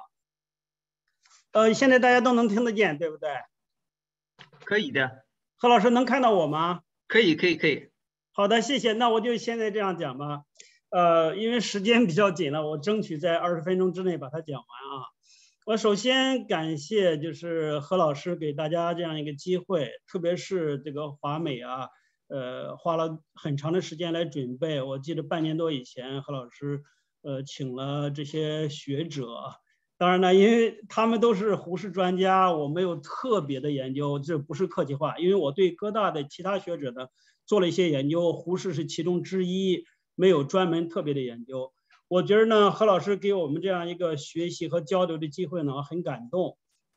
首先呢，我觉得我们大家用这个机会来讨论一下胡适，特别是通过他们这些学者的视角和我们这些一般的研究者的视角，呃，来了解一下胡适。胡适因为这些年呢，在国内非常 popular，在海外呢也有很大的影响，在历史上一直是如此。但是我觉得呢，就是。也受到了一些攻击，受到了各种各样的一些不同的评价。我觉得不论是盲目的吹捧他，或者是做一些无聊的攻击，呃，大部分呢都是一些没有真的去了解胡适，很少有人真正读过他的东西，都是看那些网文。我觉得今天能大家在这样一个层面上来了解他，我觉得是非常重要的，而且特别感动。何老师花了这样的一个时间和精力，请了一些专门研究他的这些学者来。另外呢，我自己觉得呢，通过对于胡适的了解，特别是在哥大呢，刚才何老师说了，有很多的机会来了解他的第一手资料。那这样的话呢，就是我认为啊，通过了解了胡适以后，首先呢，我觉得胡适不是一个图腾，我们不要把他当做一个图腾来崇拜，要真正的理解他的思想，知道他做些什么，他为什么要这样做。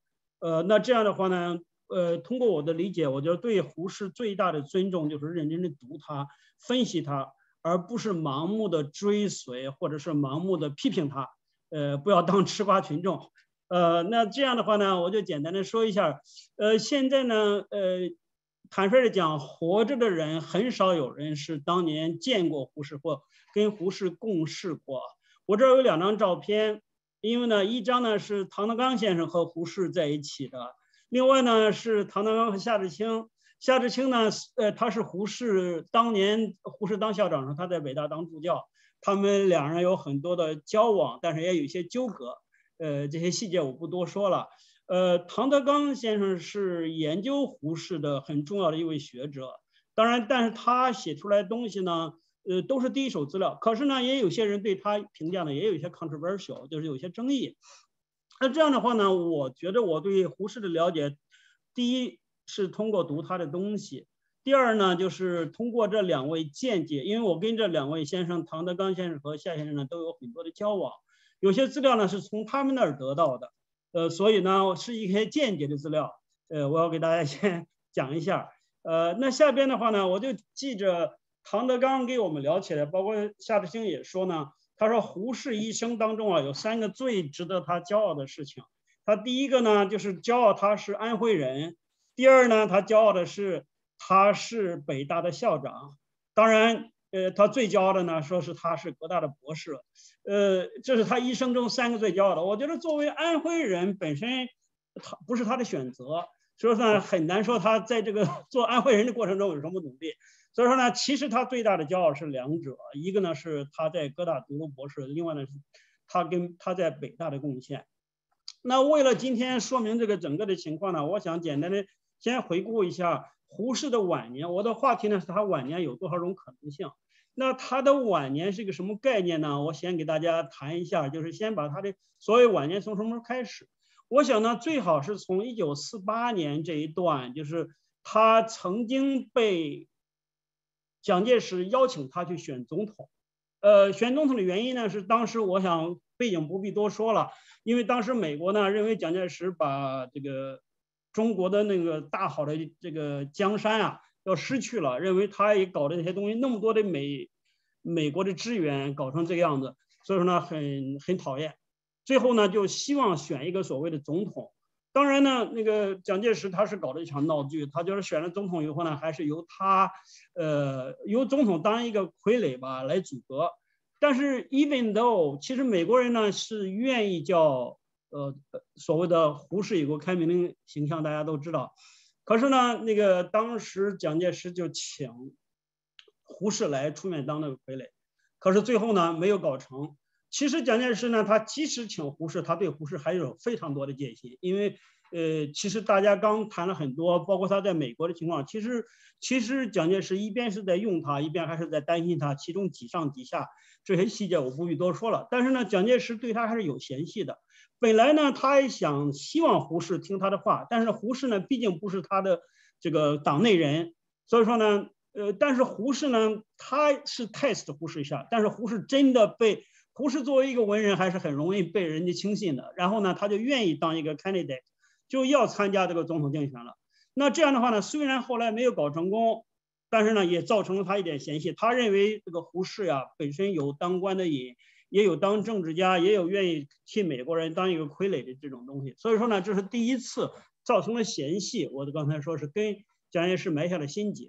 那然后的话呢，他第二次我呃大事件呢，就是当时北京北平解放前夕，他退出了北大，最后呢被蒋介石接回了南京。而下边一个呢，就是到了一九四九年，他从南京整个国民党政府节节败退，到了一九四九年的时候呢，他从上海。蒋介石恳求他到美国做说客，呃，他又接受了这个位置。那然后的话呢，当然很显然到了美国是处处碰壁，呃，就跟他原来做大使时候风光是完全不一样了。因为他代表了一个马上就要垮台的，就美国人一直在问 Who lost China，对不对？谁把中国给丢失了？谁失去了大陆？在这样的情景下，当然是一个不受欢迎的说客。那在这个时候呢，当时是阎锡山，呃，作为行政院长发布他当做外交部长，可是他拒绝了，他拒绝了。那是四九年的事情。到了五零年以后的话呢，他到了，他就在美国，他就变成了一个无业游民了，基本上是。后来到了普林斯顿大学当图书馆员，呃，在这期间呢，美国的还是想利用胡适，呃，叫他在海外组织流亡政府，当然遭到他的拒绝。当然后来呢，是这个。呃呃，其他人就做了嘛，李宗仁就慢慢慢慢的去进入了这个套，后来发现也是一个傀儡。那到了五二年呢，呃，胡适其实胡适这个人是一直是很有激情的，呃，他不是一个纯粹的学者，他是有激情的，他愿意去搞政治。他和蒋廷福又相约呢，组织一个反对党，组成一个反对党呢，来怎么样呢？来呃推动台湾民主。他所谓推动台湾民主。但是蒋介石呢，对他我刚才说过，一直有戒心的。呃，当总统的时候，第一次就对他有戒心了，就是当尽管是个傀儡的总统，而且是他邀请的。他后来发现他要组织第三党的话，蒋介石反对这个事情呢，最后胎死腹中。最后呢，到了五四年到五五年，在大陆呢掀起了批判胡适的运动。这个刚才这个两位老师都讲了，我就不多说了。那到了五七年的时候呢？胡适在在纽约，等会儿我会详细讲一下。他很无奈，因为他到了普林斯顿以后做了两年，被辞退了以后，他想在哥大一直在这很恋、很眷恋、很恋战在这儿。可是最后呢，也没有给他一个机会。那这样的话呢，他慢慢慢慢的就很冷落。其实不只是他，当时留在这儿，当时沦落在呃纽约的有很多党国要人，还有些大佬，呃，也没办法照顾他。后来就在一九五七年，正好收到了这个当时台湾送来他的橄榄枝，叫他去担当这个中央研究院院长。但是呢，他到了台湾以后呢，事实上他和他们也也不合作。最后呢，呃，我们知道和雷震啊，呃，这个中国自由中国这个事情，呃，发生了以后，然后呢，他又是联署反对蒋介石连任第三届总统。那这样的话呢，不断的发生各种局域。那这个最后的结果是什么呢？呃，我们就是看了他在那儿各种各样的情况，最后呢是他在台湾的死，在台湾的死。那我想看一下，就当时我刚才简单的回顾了一下他晚年的情况。那我们替胡适想一下，在晚年他有三条路可以走，是他有三条路。第一呢，他可以做学者，因为胡适啊，他成名非常早。他一生都有名人意识。我记着，不管是唐德刚还是夏志清都说过，他说胡胡适非常有清醒的意识。他不管是写一个写一个日记，还是写一封信，哪怕是一个字条，他都知道这个东西会被人保留起来，会作为史料。他他一直很很自觉地把自己当成一个历史人物，一个名人。当然呢，他也非常热衷于政治。坦率地讲，他成名早了以后呢，有一个好处就是就是说的，他一直从从他成名到死都很风光。但是也有一个坏处，他就是被各种各样的俗物给骚扰。所以说呢，就是谁都可以说是我的朋友，这个是胡适。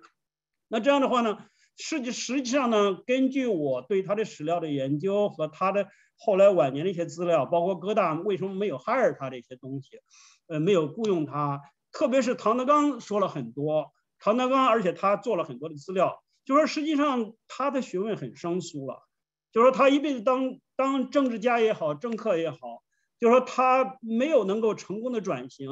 我有一几个例子，你比如说何廉，大家肯定知道何廉这个人，等会儿我会说一下，他就是一个也是一个政客，也当过国民党的一个部长、副部长，最后是在南开大学的任上，呃，退下来就是逃到这个国外来的。但是他就后来被被哥大聘为一个经济学教授，一直到他退休。另外呢，蒋廷福就是刚才说给他一块组织政党的，后来在，呃，一直他当然也当了职业政客，也当了当了呃这个驻美大使。但是呢，他后来也被哥大哈人也被哥大雇佣了。但是呢，哥大一直没有聘胡适。当然这里边还有其他原因啊，呃，我们今天来不及细讲，但是我讲那个事实。他一直在哥大呢，他很眷恋哥大这块地方，而且呢，特别是唐德刚和夏志清都写过很多的文章替他抱不平，说哥大不敢雇他，哥大比较鸡肠狗肚。呃，其实呢还有其他另外的原因，我也看过其他的资料啊，我等会儿再说一下。那虽然他唐这个胡适呢，他说他很想做学问，而且他自己曾经说过，他说我很丧气，一直不能做学问。他说：“我恨不得他自己写的这个文章里边，恨不得我能够坐几年牢。他说我要能坐了牢了以后，就去掉了所有的社会关系了，我就能安安静静的在那写作。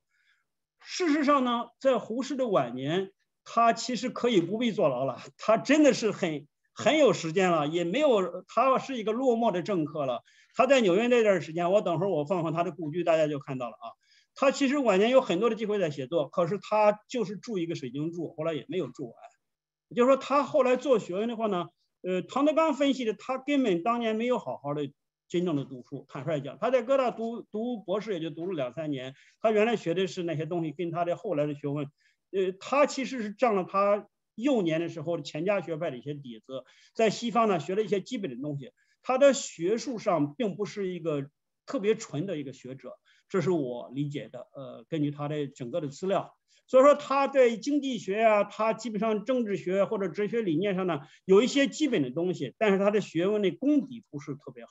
他不是像何廉那样的，就是直接扎扎实实的经济学者，他的学问一直可以用。还有其他的人，那这样的话呢，他的心智是特别欠缺。比如说，呃，唐德刚举了一些例子，人们叫胡适讲一讲文学。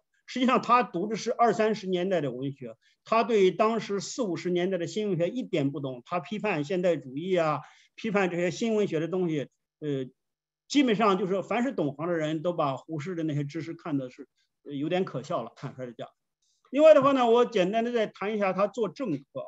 做政客的话，实际上晚年美国人呢一直扶持他。我刚才说过，就是从叫他当总统，包括到美国叫他从一个独立势力。包括他回到了台湾以后，还是叫他参与。但是呢，呃，他作为一个政客或者作为一个政治家，他看得很明白。他在美国了解了很多，有李宗仁在他前面，李宗仁本身就是代总统。另外呢，陈立夫这些比他的资格老得多，而且真正是国民党的党魁级大佬级的人呢，都没有成功。所以说，作为聪明如胡适，他是明白的，他这个这条路很危险。而且以后呢，还是当傀儡。即使当了以后，他在美国呢也不会得到信任。而且呢，他既然这样的话得罪了大陆和台湾两头，他是没有前途的。他明白，而且他当然也是花瓶而已。当然，第三条呢，那是他一条不是他选择，而是没有办法的路，是他要做义工。做义工呢，当然他还是不甘心的。一直到他最后临走以前，已经做了相当一段时间了，那不是他的选择。我看一下他第一个做学者的话呢，我刚才我最近就是找了一批照片啊，一个就是他本来哥大的东亚图书馆是在 Law Library 里边的，非常漂亮、非常辉煌灿烂的地方。这是刚进门，这是当年呢哥大这个胡适为什么那么眷恋哥大呢？其实他对哥在哥大的留学时光是非常美好。那时候在心无旁骛的在读书，然后的话呢，这是他读书的这个呃，他的宿舍就是 foreigner，呃，宿舍非常漂亮。这是他的哲学系。我刚才想说，何老师说他跟何勇老师说他跟那个胡适有很多各种各样的关系，还有一个关系他没说呢。他的博士论文答辩就是在这个哲学楼，就是在这个叫，就是在当年杜威的办公室里边做的答辩。那是何老师的何勇老师的这个博士论文答辩。所以说呢，他跟胡适还有这一段情缘，呃，有一点师兄弟的这个意味。那个做学者是这样，呃，而且呢，当年对哥大确实是对胡适挺冷漠。呃，举一个例子，这是这一这个胡适在的时候当大使的时候，有一个很有名的朋友，美国人请了一个著名的画家替他画了一张像。呃，可能大家读过胡胡适杂忆啊，或者读过胡适口述史料的话，都看过唐德刚的评论。他说这个胡适的像一直被放在一个储藏室，放在一个角落里边，不给他登出来。结果这个像呢，是直到七十多年以后。去年哥大终于把它放在一个最辉煌的地方，就是在 Butler Library，在我们的主图书馆旁边，给它放在这儿，这是它这个位置。前两天何老师叫我去照一张相，我专门把它照下来了。而且这里边还说明了一个胡适的学历问题。当时胡适是一九一七年离开的时候，并没有得到学位，但是他，呃，这个引起了很多的呃东西，我不想再多说了啊。呃，实际上当时他没有得到学位，一直到了一九二七年当了大使，这个到了美国以后，呃，追认他的这个东西。当然有技术的原因，呃，胡适的学问是好的，但是呢，就是这里面呢是有技术原因。呃，为了这个呢，我就查了一下胡适自己的口述史料，就是在哥大这里边的都是胡适自己的笔记，自己写的。而且呢，查刚才呃何老师说的富路特。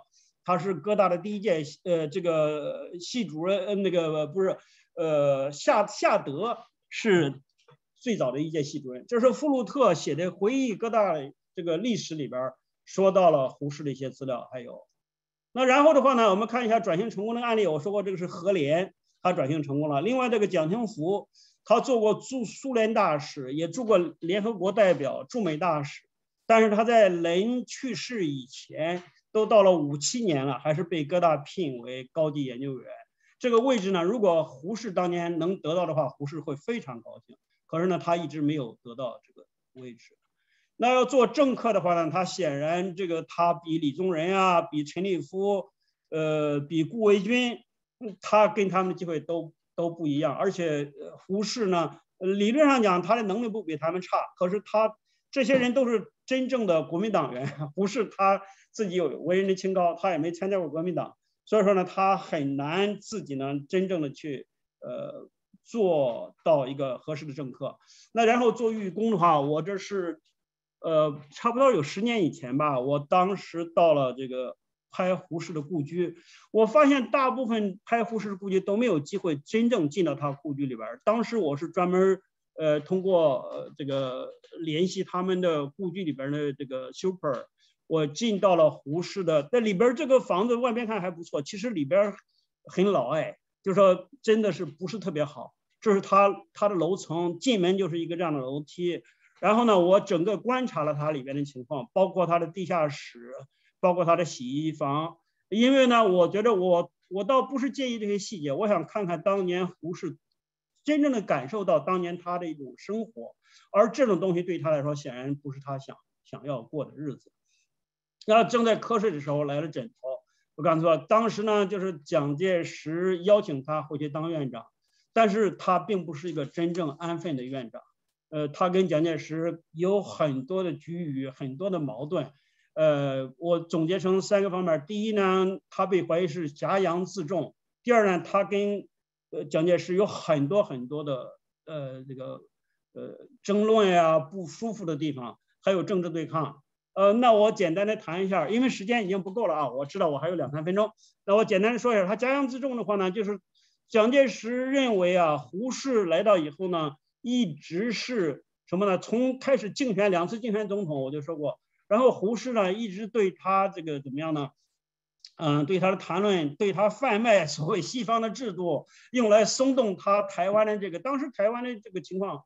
很很很很不稳定，他不喜欢任何人来来搅局，结果他始终把这个胡适当做一个搅局者，他认为胡适非常虚伪，而且利用所谓的西方的东西来，最后呢导致他要呃被卖亡国，就写的很清楚。然后呢，认为他是一直无理取闹，从政治理念上有问题。然后呢，他就说后来呢，跟他经常争，有时候当面有有不愉快的地方。他在刚刚请来胡适，胡适呢在当时的迎新会上，就是说直接对抗，跟跟蒋介石比较难看。这个细节我不多说了。蒋介石的日记上说，是我平生所遭受的第二次的最大横逆，而且呢说被他轻侮啊，说的因为叫胡适侮辱的睡不着觉，说是服安眠药可方可安睡。另外呢，这是蒋介石写的亲笔的东西，可知其人之。狭小妒忌，他认为这个胡适是妒忌。他说他写了不少的，你看从五月八号、四月十日、四月十二日、五月十日，一直到五九年，你看到没有？他说忍受胡适的侮辱，不予计较，此或修养之进步语。他说的胡适是什么呢？世风堕落，通过胡适看人心卑微。他说胡适是个无耻的政客，可怜时甚。他就认为我根本不需要跟这样的人计较，你接龙人。然后的话呢，政治对抗。他后来认为胡适呢，对他就是以美国胡适为其招摇号召之标志。这是到六零年了。后来呢，他就说，如果这个雷震被逮捕以后，胡适如出面干涉，他说会怎么样怎么样？他直接警告他不准他回国，因为当时胡他已经到了台湾了嘛，他要到美国去做一些外交活动，他就甚至于想拦着他不让他回国。后来直接就蒋介石对他的痛恨变成谩骂了，就说他是文化买办呀，说他是狐仙。他是姓胡嘛，就故意说他是狐仙，说危害国家、危害民族之毛贼。这是在他死前两年的，最后在他过了一年，死前一年多，最后呢死了以后呢，就说他暴卒，说乃除了障碍也。那实际上呢，呃，当然胡适，胡适跟蒋介石的矛盾，我肯定不会说是蒋介石是对的。但是可以可见什么呢？就在他落魄，最后又回到台湾以后呢，他还是不能跟，就是他为什么不像那个，比如说其他的像蒋廷福呀，像顾维钧呀，他只要是在哪条线上，他就要按照哪条线上去走，是不是？他呢是所谓的我几头都不沾，以一个独立知识分子这个姿态来出现，但是呢，他又很难真正的融入哪一个的部分。他做出姿态的清高呢，也让他的一生变成了一个悲剧性格。我就说呢，对他的定位比较难。嗯，他是求人得人，复合怨妇，就是他想得到的一切他都得到了，最后呢还是死在自己的位置上。另外，作为胡适，我觉得呢，他是一个时代的结果。因为胡适呢，他是一个弄潮儿，是一个弄潮儿，他是刻意的。其实胡适从他刚开始搞文学革命啊，什么他得风气之先呀。他做的这一切呢，我觉得他确实起到了很多的历史作用，起到很多历史作用。他是起到了振臂一呼，呃，对于文化、对于时代、时代起到起到了一个重大的使命的作用。但是胡适呢，坦率讲，他不是一个政治家，因为呢，他并没有政治家的我刚才说的那种心狠手辣呀，那种出卖灵魂呀，那种那种各种各样的作为政治家的那种手腕。但是呢，他也去做了这一切，就是他所有的这一切他都摘，他一生没有忘情政治，他是一个喜欢政治的人，而且说句老实话，政治虽然很肮脏，可是可是呢，他往往是自觉投入的。另外的话呢，说胡适是学问家的话呢，当然他按照一般的标准是可以，但是按照当时最杰出的那一批学问家里边的话呢，就是胡适可以说是一个学问家。但是大家都知道，我觉得圈子里边人没有不知道的，就是胡适其实真的没有在学术的特别方面哪一个方面有特别的造诣。比如说他对中国哲学、古代哲学呀，他也没有写完。他写的白话文学史也都都是写半册，都是写这个半部。然后呢，提出了很多方面的东西，我觉得有启发。可以说呢，是个学问家，但是呢，他不是真正的学问家。我觉得胡适真正的应该对他的最高评价，他是一个思想家。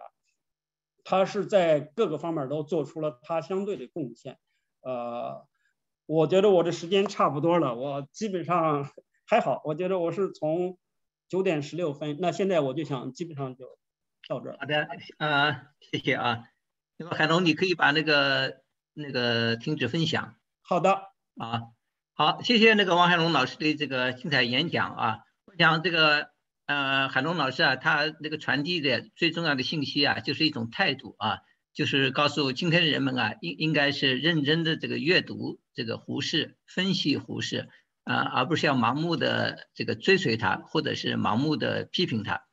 好，我们下面一位嘉宾啊，是来自这个南京大学出版社的呃杨金荣编审，呃，那么我我自己啊，在南京大学出版社出过两本书啊，都是由这个杨老师所负责的部门的人员啊担任这个责任编辑的，所以我感到特别的荣幸。那么杨老师呢是那个南京大学的历史专业博士啊，现在也兼任。南京大学信息管理学院的教授，他主要从事的是这个中国近代思想史、文化史研究。那么胡适呢，是杨教授啊研究的一个重要话题。关于胡适啊，那么杨教授的代表著作有这个《角色与命运》、胡适晚年自由主义的困境。那么杨教授今天给我们带来的讲题是胡适与南京大学的情缘。下面就让我们隆重请出杨金龙教授。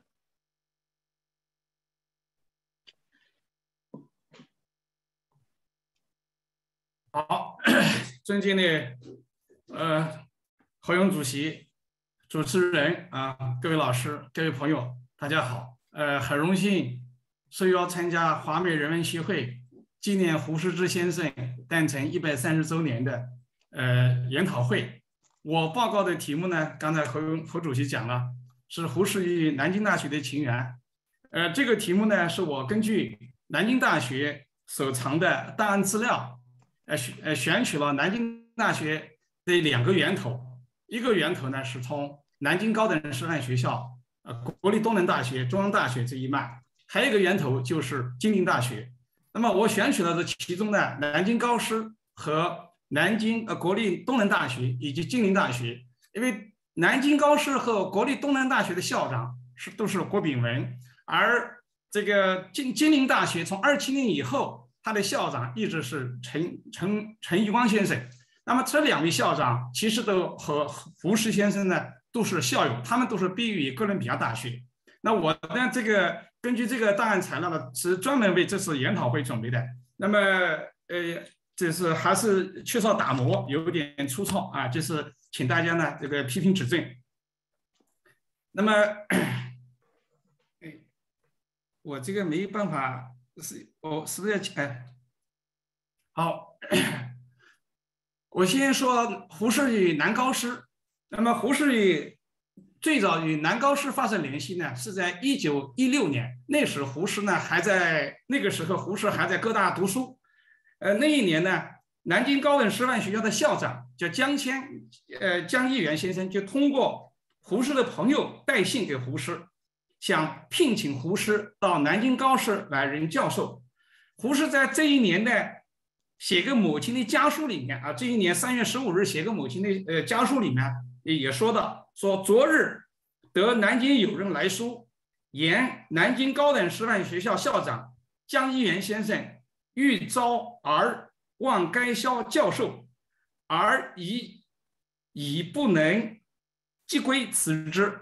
也就是说，呃，他告诉母亲说，南高师请我要去当教授，但我我找了一个，我告诉他我不能马上回去，我就辞谢了。这是南高师胡适最早与南高师发生的联系。那么这里面提到的南京友人，有可能是谁呢？我认为呢，最有可能是郭炳文。那郭炳文在一九一四年毕业以后，他就回来，一九一五年任南京高师的教务主任。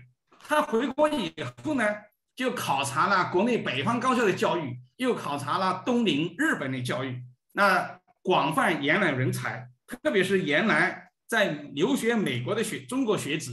另外一方面呢，又把国内的一些师资教师呢送到。美国去留学，所以他在积极的推进南高师向现代大学的转型。所以在郭炳文的努力之下呢，南高师的教师的队伍呢，呃，阵容呢，呃，得到很大的改观。呃，根据史料记载，在一九一八年十月的时候，当时南高师在册的教师有四十七人，其中二十五人有留学背景，而二十五人中有二十一人是留学美国，所以我觉得这个胡适呢是非常符合郭炳文的选人用人的这样一个取向。呃，郭炳文这个成绩在一百多年前还是非常呃非常这个很非常好的一个成绩。那么胡适正式来到南高师是在民国九年，也就是一九二零年。那这一年呢，南高师有在中国教育界开创了一件大事，那就是在暑期创办了暑期学校。呃，我们知道，在美国的暑期学校大家都习以为常，可是中国的大学开创暑期学校就是从南高师开始的。南主要是由郭炳文校长和陶行知。郭炳文校长就是首期的暑期学校的校长，郭炳呃陶行知呢是教务主任。那么他们在暑期学校呢，就引进了当时很流行的学分制、选科制啊，招收了女学员啊，还与就是行业对接啊，这个呃举办了博览会。暑期学校在南高师呢，首期是六周的时间。那么在这个之前，陶行知就写信去约请胡适。来担为暑期学校授课，这个暑期学校这个这个暑期学校的这个呃呃成果还是非常显著的。他在第一年就招收了一千多学员，分布在全国十七个省。呃，这里面呢，就是他招收的学员当中呢，有面向小学的教职员、中等以上的教职员啊，中等学校的毕业生。啊，一些高等专门大学的肄业生、毕业生，还有一些地方职员。那这里面呢，有著名的学员，就有吴一芳、胡宗南、杭烈武和张启运，他们都是当时首期、首期呃首届暑期学校的学员。那么胡适接受了呃陶行知的邀请，到南高师来授课。两门课，一门是白话文法。一门是中国古代哲学史，那么胡适的这个课非常受欢迎，欢迎到什么什么地步呢？白话文化文法这门课有五百一十七人选，这在当时是非常非常大的一个一个一个阵容。那中国古代哲学史呢，即使稍微略显枯燥抽象一些，也有一百零三人选他的课。所以胡适自己说他是时髦的暑暑期学校的时髦的教员，在南高师来说。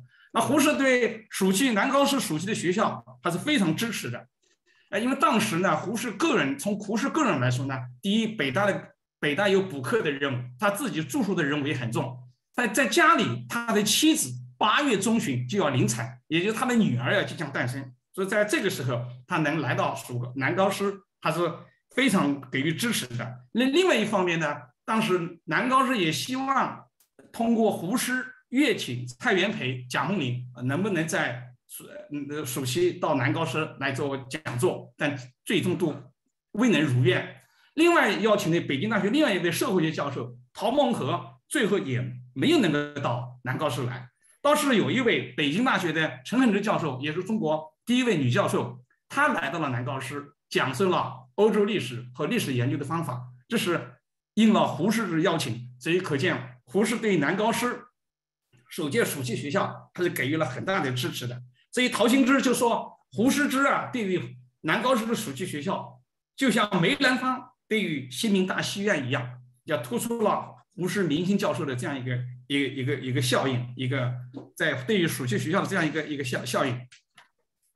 那么南胡适呢，在南高讲学之余呢，在他住在住在哪里呢？就住在这个。”梅梅安啊，就就在金陵大学今天呢，呃，东南大学的校园这个西北角那个地方，在门前有一棵六朝松啊。那么胡适呢，在讲学之余，在讲学之余呢，在六朝松下说挥老友啊，写新诗，呃，在那儿写了一组新诗，呃，比如像我们三个朋友啊，湖上一笑，外交等等，这个还为他自己的白白话诗集。长诗集的再版作序，同时呢，还邀请亚东图书馆在配合他的讲课，在校园内售卖新标点的古典小说《啊水浒传》。呃，课余呢，他还陪呃和友人呢一起到就是城墙以外的玄武湖，当时叫后湖啊，到到到玄武湖上去这个这个漫游赏荷，呃，荡舟啊。应该说，他尽管在，他尽管到南高师的暑期学校再来了，只来了三三个多星期，但是呢，他这段的安排还是非常的紧致和富有诗意。那么胡适与南高师呢，也是有分歧的。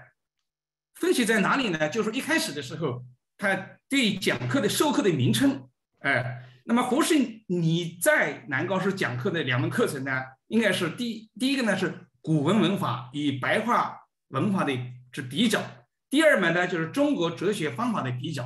那最后他在南高师讲的课程呢，不是这两门课程，是做了改动的。这是和和南高和和陶行知这个往来书信，最后妥协的一个结果。因为很明显，呃，古文文化与白话文化之比较和中国哲学的方法的比较是相对比较专题性、研究性的。而陶行知认为呢，你在南高的这样一个暑期学校还是普通一些好，所以建议就把它改为了，最后改为了白话文法和中国古代哲学史。那这对于这件事呢？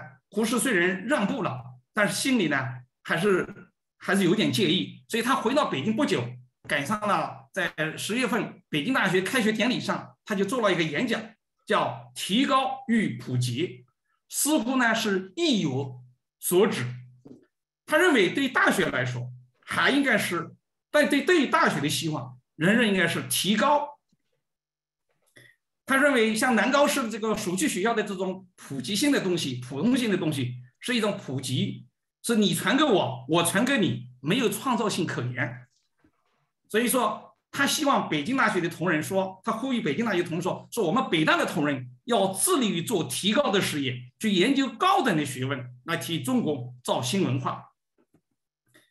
这是在南高师啊。这到第二年呢，到了第二年，就民国十年，一九二一年。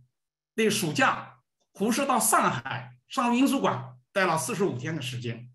他为什么要去上海商务印书馆呢？是因为上海印商务印书馆的编译所的所长高蒙旦先生，呃，愿请胡请胡适啊辞去北京大学的教职，来接任他商务印书馆编译所的所长这个职务。那胡适呢没有答应，他答应呢暑假的时候到商务印书馆做一份考察。所以在二一年的时候。他就来到了商务印书馆。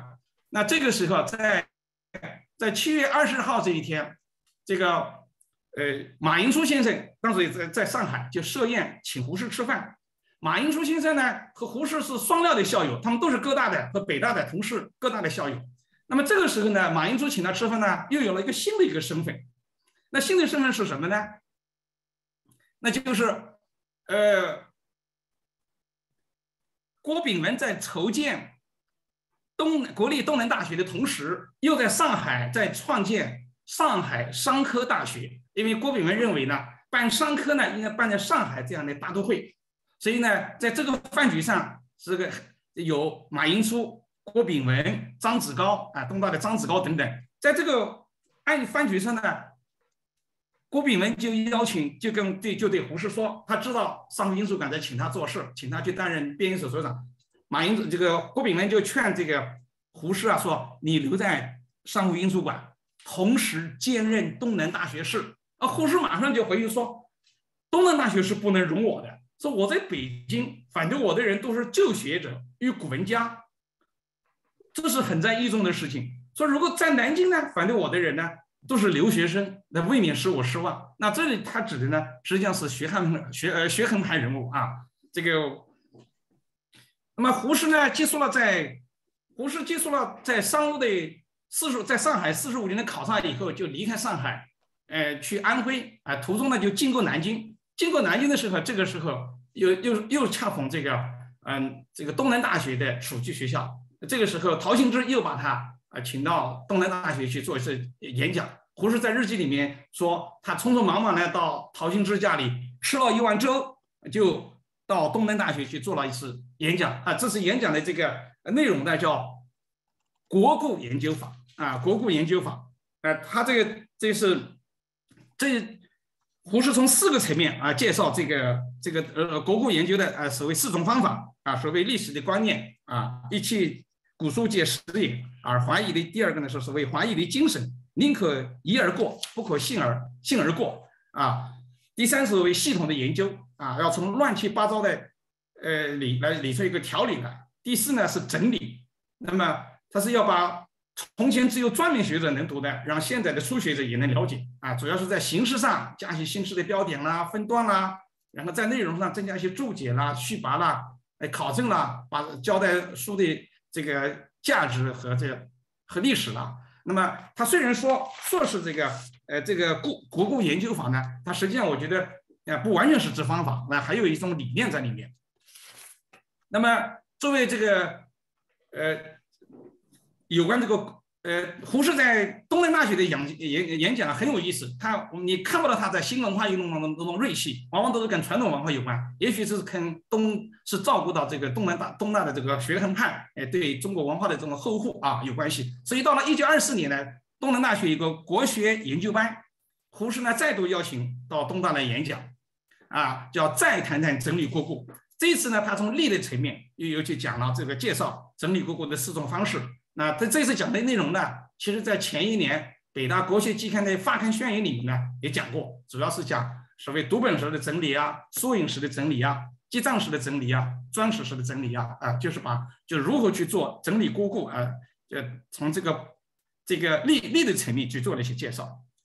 那么，在一九二三年，胡适十二月，胡适又在胡适在东南大学也做了一次讲座啊。这一段时间呢，讲了很多。那么，讲座的题，这个演讲的题目呢，叫《书院志史略》，讲书院啊，讲书是讲书院的历史和书院的精神啊。胡适认为，从唐代开始，书院就有了学校的价值，到了宋代呢，就。更为完备，它的程度呢，已经相当于今天的大学本科，而书院中的精舍呢，相当于今日的研究院。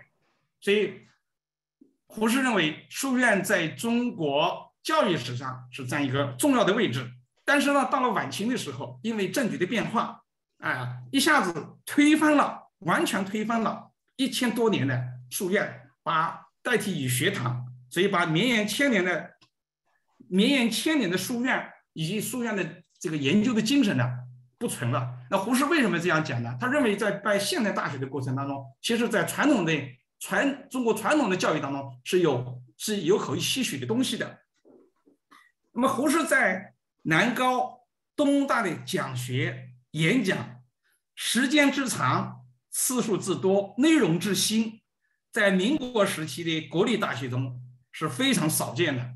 这个这个，他到东大去演讲啊，有好多都是新讲的。比如说我们刚才讲到的国故研究法，比如说书院之史略，啊，都是他都是在都是新题目新开讲的。那么相比较之下呢，他在一九二五年九十月份，武汉有一次南行啊，最近我们有学者在研究，在在那儿有十一个星期的时间，讲了十几场。讲的全是旧题，也就是说都是老生常谈，所以从这一点我们也看得出来呢，胡适对南高和东大有特别用心和用情的地方。那么在一九二三年他生日那一天，也就是一九九，也就是说九十八年前，在一九二三年十二月十七日，他这个这一天，他三十二岁生日，胡适写了一封信给郭炳文，这封信可谓。纸短情长，在这封信里面，他谈了两件事。好，这就这这就是呃，藏于南京大学档案馆的一封信啊。他在在这封信里面谈了两件事。第一件事情呢，是他悼念东南大学英年早逝的副校长郭炳文，呃，这呃这是刘刘伯明啊，悼悼念刘刘伯明先生。他还特地呢为。为刘伯明先生写了一副挽联，叫“鞠呃鞠躬尽瘁而死，肝胆照人如生”。啊，有意思的是，四十年以后，胡适在台北逝世，刘伯明当年的学生张启运写了一篇悼念胡适的文章，也拿胡适当年挽刘伯明的这个挽联送给了胡适。啊，这是这封信呢，哎，讲的第一件事。第二件事情呢，是讲东南大学在一九二三年的年十二月份发生了一场大火灾。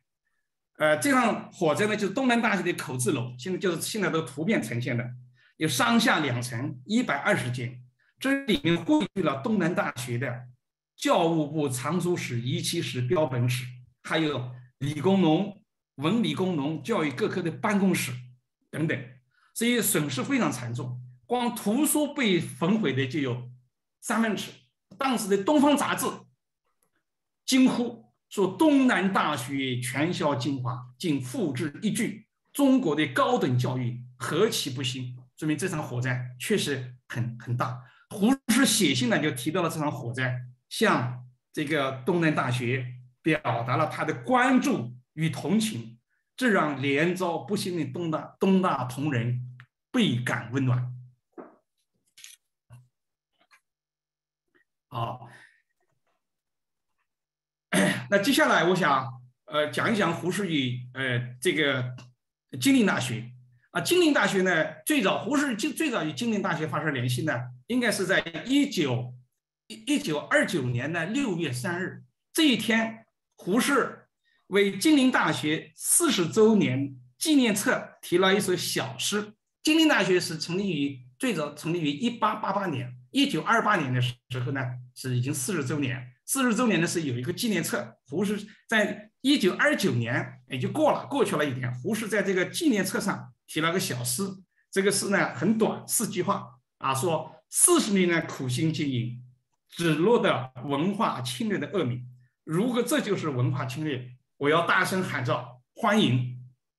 那很显然，当时，呃，因为这个背景是什么呢？背景其实国民政府在一九二七年成立的时候，有一个要收回。教育权的运动啊，同时呢，当时呢有一个思潮呢，民族主义的思潮呢，可能对就认为呢，帝国主义对中国的侵略不仅仅是经济层面的，也有文化层面的。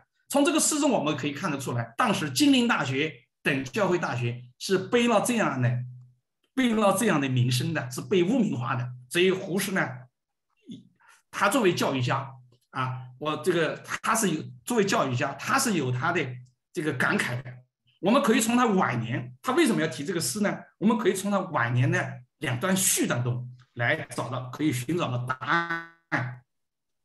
一个呢，就是说胡适晚年啊，给金陵大学的校友，也是农学家沈宗汉先生，他呢写的一个的回忆录，做了一个序。这个序言里面呢，有这么几句话，就提到说，民国三年以后，中国农业教学和研究的中心是在南京。啊，南京的中心呢，先是在金陵大学的农林科，后来加上南高师的农科，这就是后来的金陵大学和东南大学的农学院。说这两个学院的初期领袖人物都是都是美国几个著名农学院出身的现代农学者，他们都能实现的是他们的新式的教学法，用活的教材来教学生，要中国农业当前困难问题来做研究。我想这是这个胡先生认为。这段历史是中国科学发展史的一页，是中华民国教育建设史的一一页。也就是说，胡适对于金陵大学当时在农科、在科学这个层面，他们的新式的教学法、活的教材教学生，用现实的问题来做研究，是非常欣赏和认可的。在文的方面，在文化研究方面，胡适晚年在给司徒雷登回忆录写序的时候，也提到说。包括金陵大学在内的中国几所基督教大学，对于中国文化的研究，达到了任何纯粹中国学术研究机构所具有的最高水平。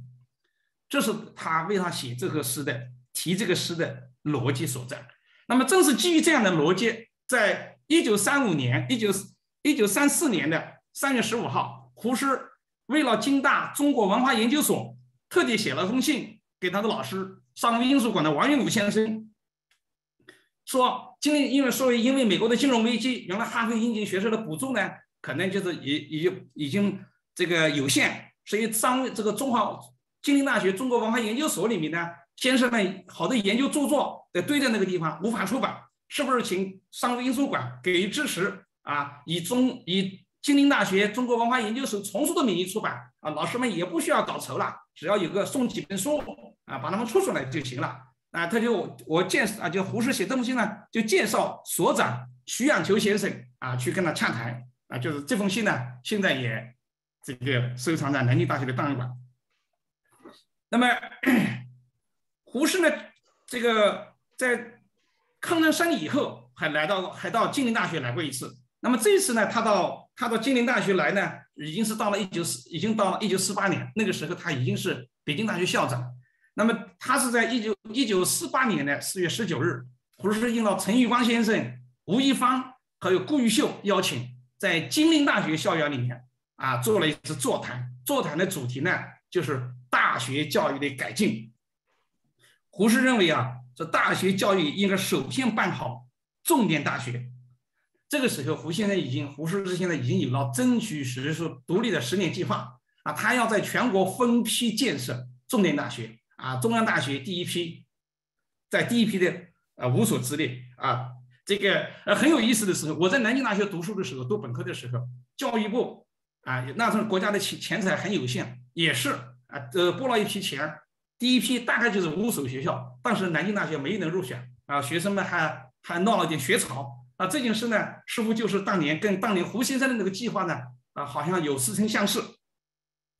那在这个座谈之前呢，陈玉光先生呢，曾经，陈玉光校长曾经邀请胡适到京大来讲学啊，这是陈玉光先生致胡适的一封信啊，这是在这个档案里面，这个啊，这是胡适先生回陈玉光校长的一封信，这个，那么，呃，要邀请他来来讲学，那么胡适呢，回就就说啊，陈这个。胡适就回信说：“陈要到京大演讲，不行呢，我已经订好机票，不能来贵校。而且呢，说我已经这个伤风颇苦，这个声音嘶哑，大概是说话说的太多了。那实际上呢，他作为身为北京大学校长的胡适呢，当时已经当时呢可能是已经身不由己了，所以呢就呃没未呃没有那个如愿。啊，最后呢，我就想就是呃说这个呃做一个小做一个小小小的小结吧啊结语吧，所以。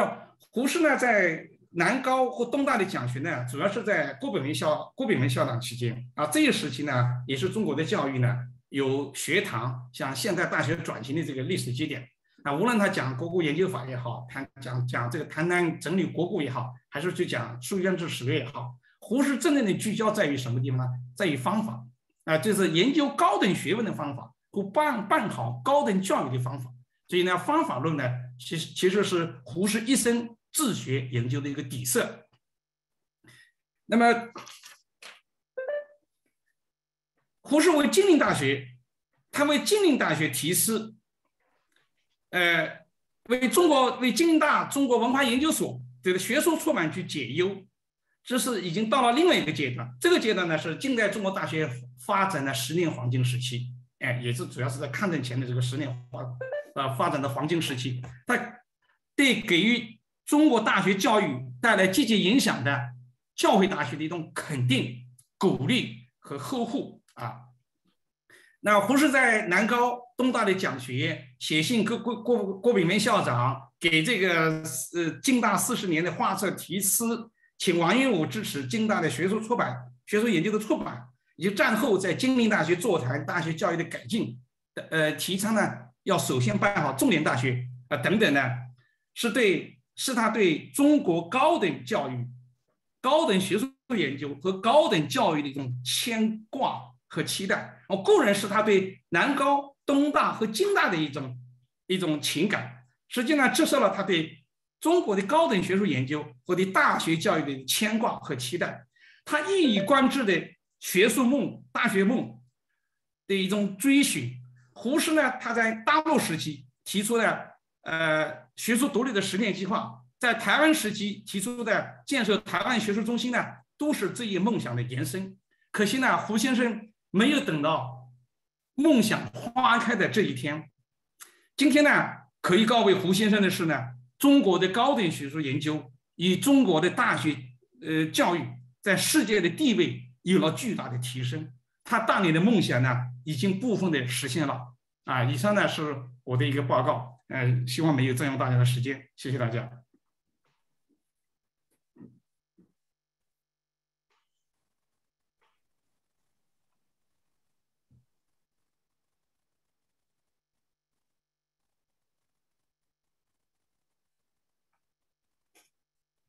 啊，那个谢谢谢谢杨老师，杨老师你可以把那个，你可以把你的那个分享啊，那个就是就是关闭啊，呃，好的，那个非常感谢杨金荣教授啊，他讲述了这个胡适先生啊和南京大学的深厚渊源，呃，为大家展现了这个胡适先生啊备受欢迎的这个教员形象。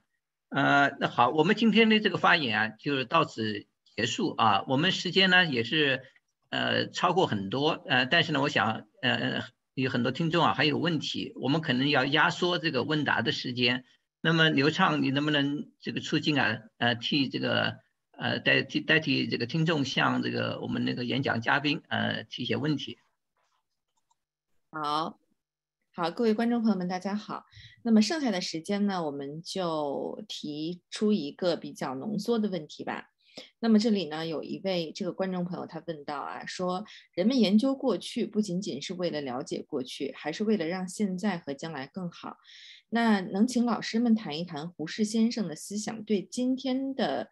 对今天中国的价值有什么样的影响吗？这个问题有点大，但是呢，我们想这样的问题啊，就恰好就是，呃，对这个胡适的思想，对于今天我们的这个现实意义有什么样的一个作用和影响啊？那么这个问题呢，我相信也是很有价值的，所以我们可能请各位老师大家都发表一下自己的一些看法。我们那个嘉宾是不是可以这个出镜啊？现在都打开你们的 那个镜头。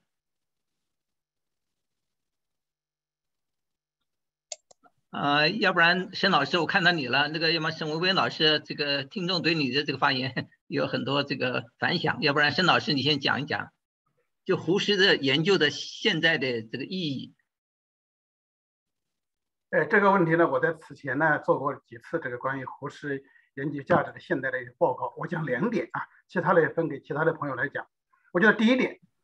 胡适在一九二一年呢写杜威思想在中国的杜威的在中国的时候，他用杜威的思想方法提出了一个很重要的环节，就是说所有的思想啊都是理论，都是一个假设，都是待证的假设，实验是检验真理的唯一试金石。所以胡适这一九二一年的这个思想，到了一九七八年的五月，中国大陆开始了改革开放之后呢，掀起了一场所谓真理标准的讨论。这个时候对胡适最重要的一场影响，就在胡耀邦、邓小平那个时代，胡适的思想真正被大陆改革开放重视的第一声春雷是实践是检验真理的唯一标准。这一点是继承了胡适一九二一年所倡扬的多维思想的实验是检验真理的唯一试金石。这是第一点。第二点，一九九二到一九九三。邓小平再次南巡，开启了中国的再一次开放的时候，提出了一个很重要的话题，就是不要讨论这个概念，也不要讨论什么，就是也不要讨论什么姓这姓那了，要发展中国的经济。这恰恰也是胡适的思想。我觉得实验嘛，要胡适说实验主义嘛，把杜威思想思想引到中国来着。那么邓小平的改革开放，在所有的南方的特区，不就是一种实验吗？实验的是过程之中。就要允许失败，允许探索，允许把国门打开，不要去讨论姓这个姓那个。当时有个经典的段子嘛，叫“姓资姓社”嘛。那么中国这四十多年改革开放的伟大的成就，恰恰验证了胡适所讲的：不要搞概念，不要搞什么什么主义之争，就是要解决中国的思想问题，解决中国人的吃饭问题，解决中国人强大的问题。这怎么办呢？发展经济，不要去搞什么这其他的东西。这第二点，第三点，这一百多年来。我们中国人所有能够享受胡适思想最重要的一个文化资源和，就是文化资源。什么叫文化化的？就是装饰融化在我们生活之中，叫文化。那么这一点呢，白话文嘛，从胡适开始的白话新文学运动到这一百多年来，民主、科学，现在我我我有一个经典的话说，科学还在路上，现在我们正走在科学的路上，民主呢还在梦中。那么真正意义上的。就是胡适所倡导的科学和民主的一个在梦中，一个还在路上。唯独这一百年来，给我们中国人带来巨大的成功是白话文运动。我们现在比如说都在说普通话，都在说白白能听懂，否则我们几百种方言谁也听不懂谁的。我觉得这个是胡适最大的贡献。所以毛胡适的最好的一个学生，毛泽东的白话文是写的最好的。所以我就认为胡适在此前发了一个文章说，胡适的《废流血篇》是影响了毛泽东，对毛泽东的白话文写得好。所以我想这个恰恰是很重要的一点啊。我就说这么多，谢谢啊。好，谢谢那个欧阳老师啊，呃，您现在这个一本书一本书的出啊，这个肯定是呃觉得这个胡适有很很大的这个现实意义的，要不然您谈谈谈您的看法。我个人觉得呢，这个胡适思想的现代意义或者在当今的意义，呃，第一点呢，我的感触呢就是，胡适身上的那种讲究实证、讲究科学的方法，这种精神在中国在今天仍然是值得提倡、值得发扬。有一分证据说一分话，有七分证据不说八分话，实事求是，这是胡适思想的精髓。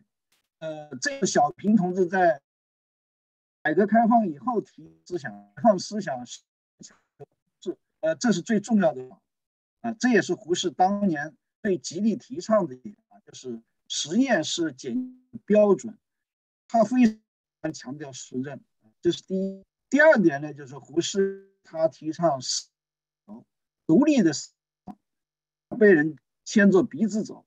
这一点我觉得也是在今天值得人们思考啊，就是学者像陈寅恪那样独立之思想，嗯，自由之精神，在这一点上面呢，如果没有精神，你做学问，我想是很难啊获得，不要说大成，就是小成也很难。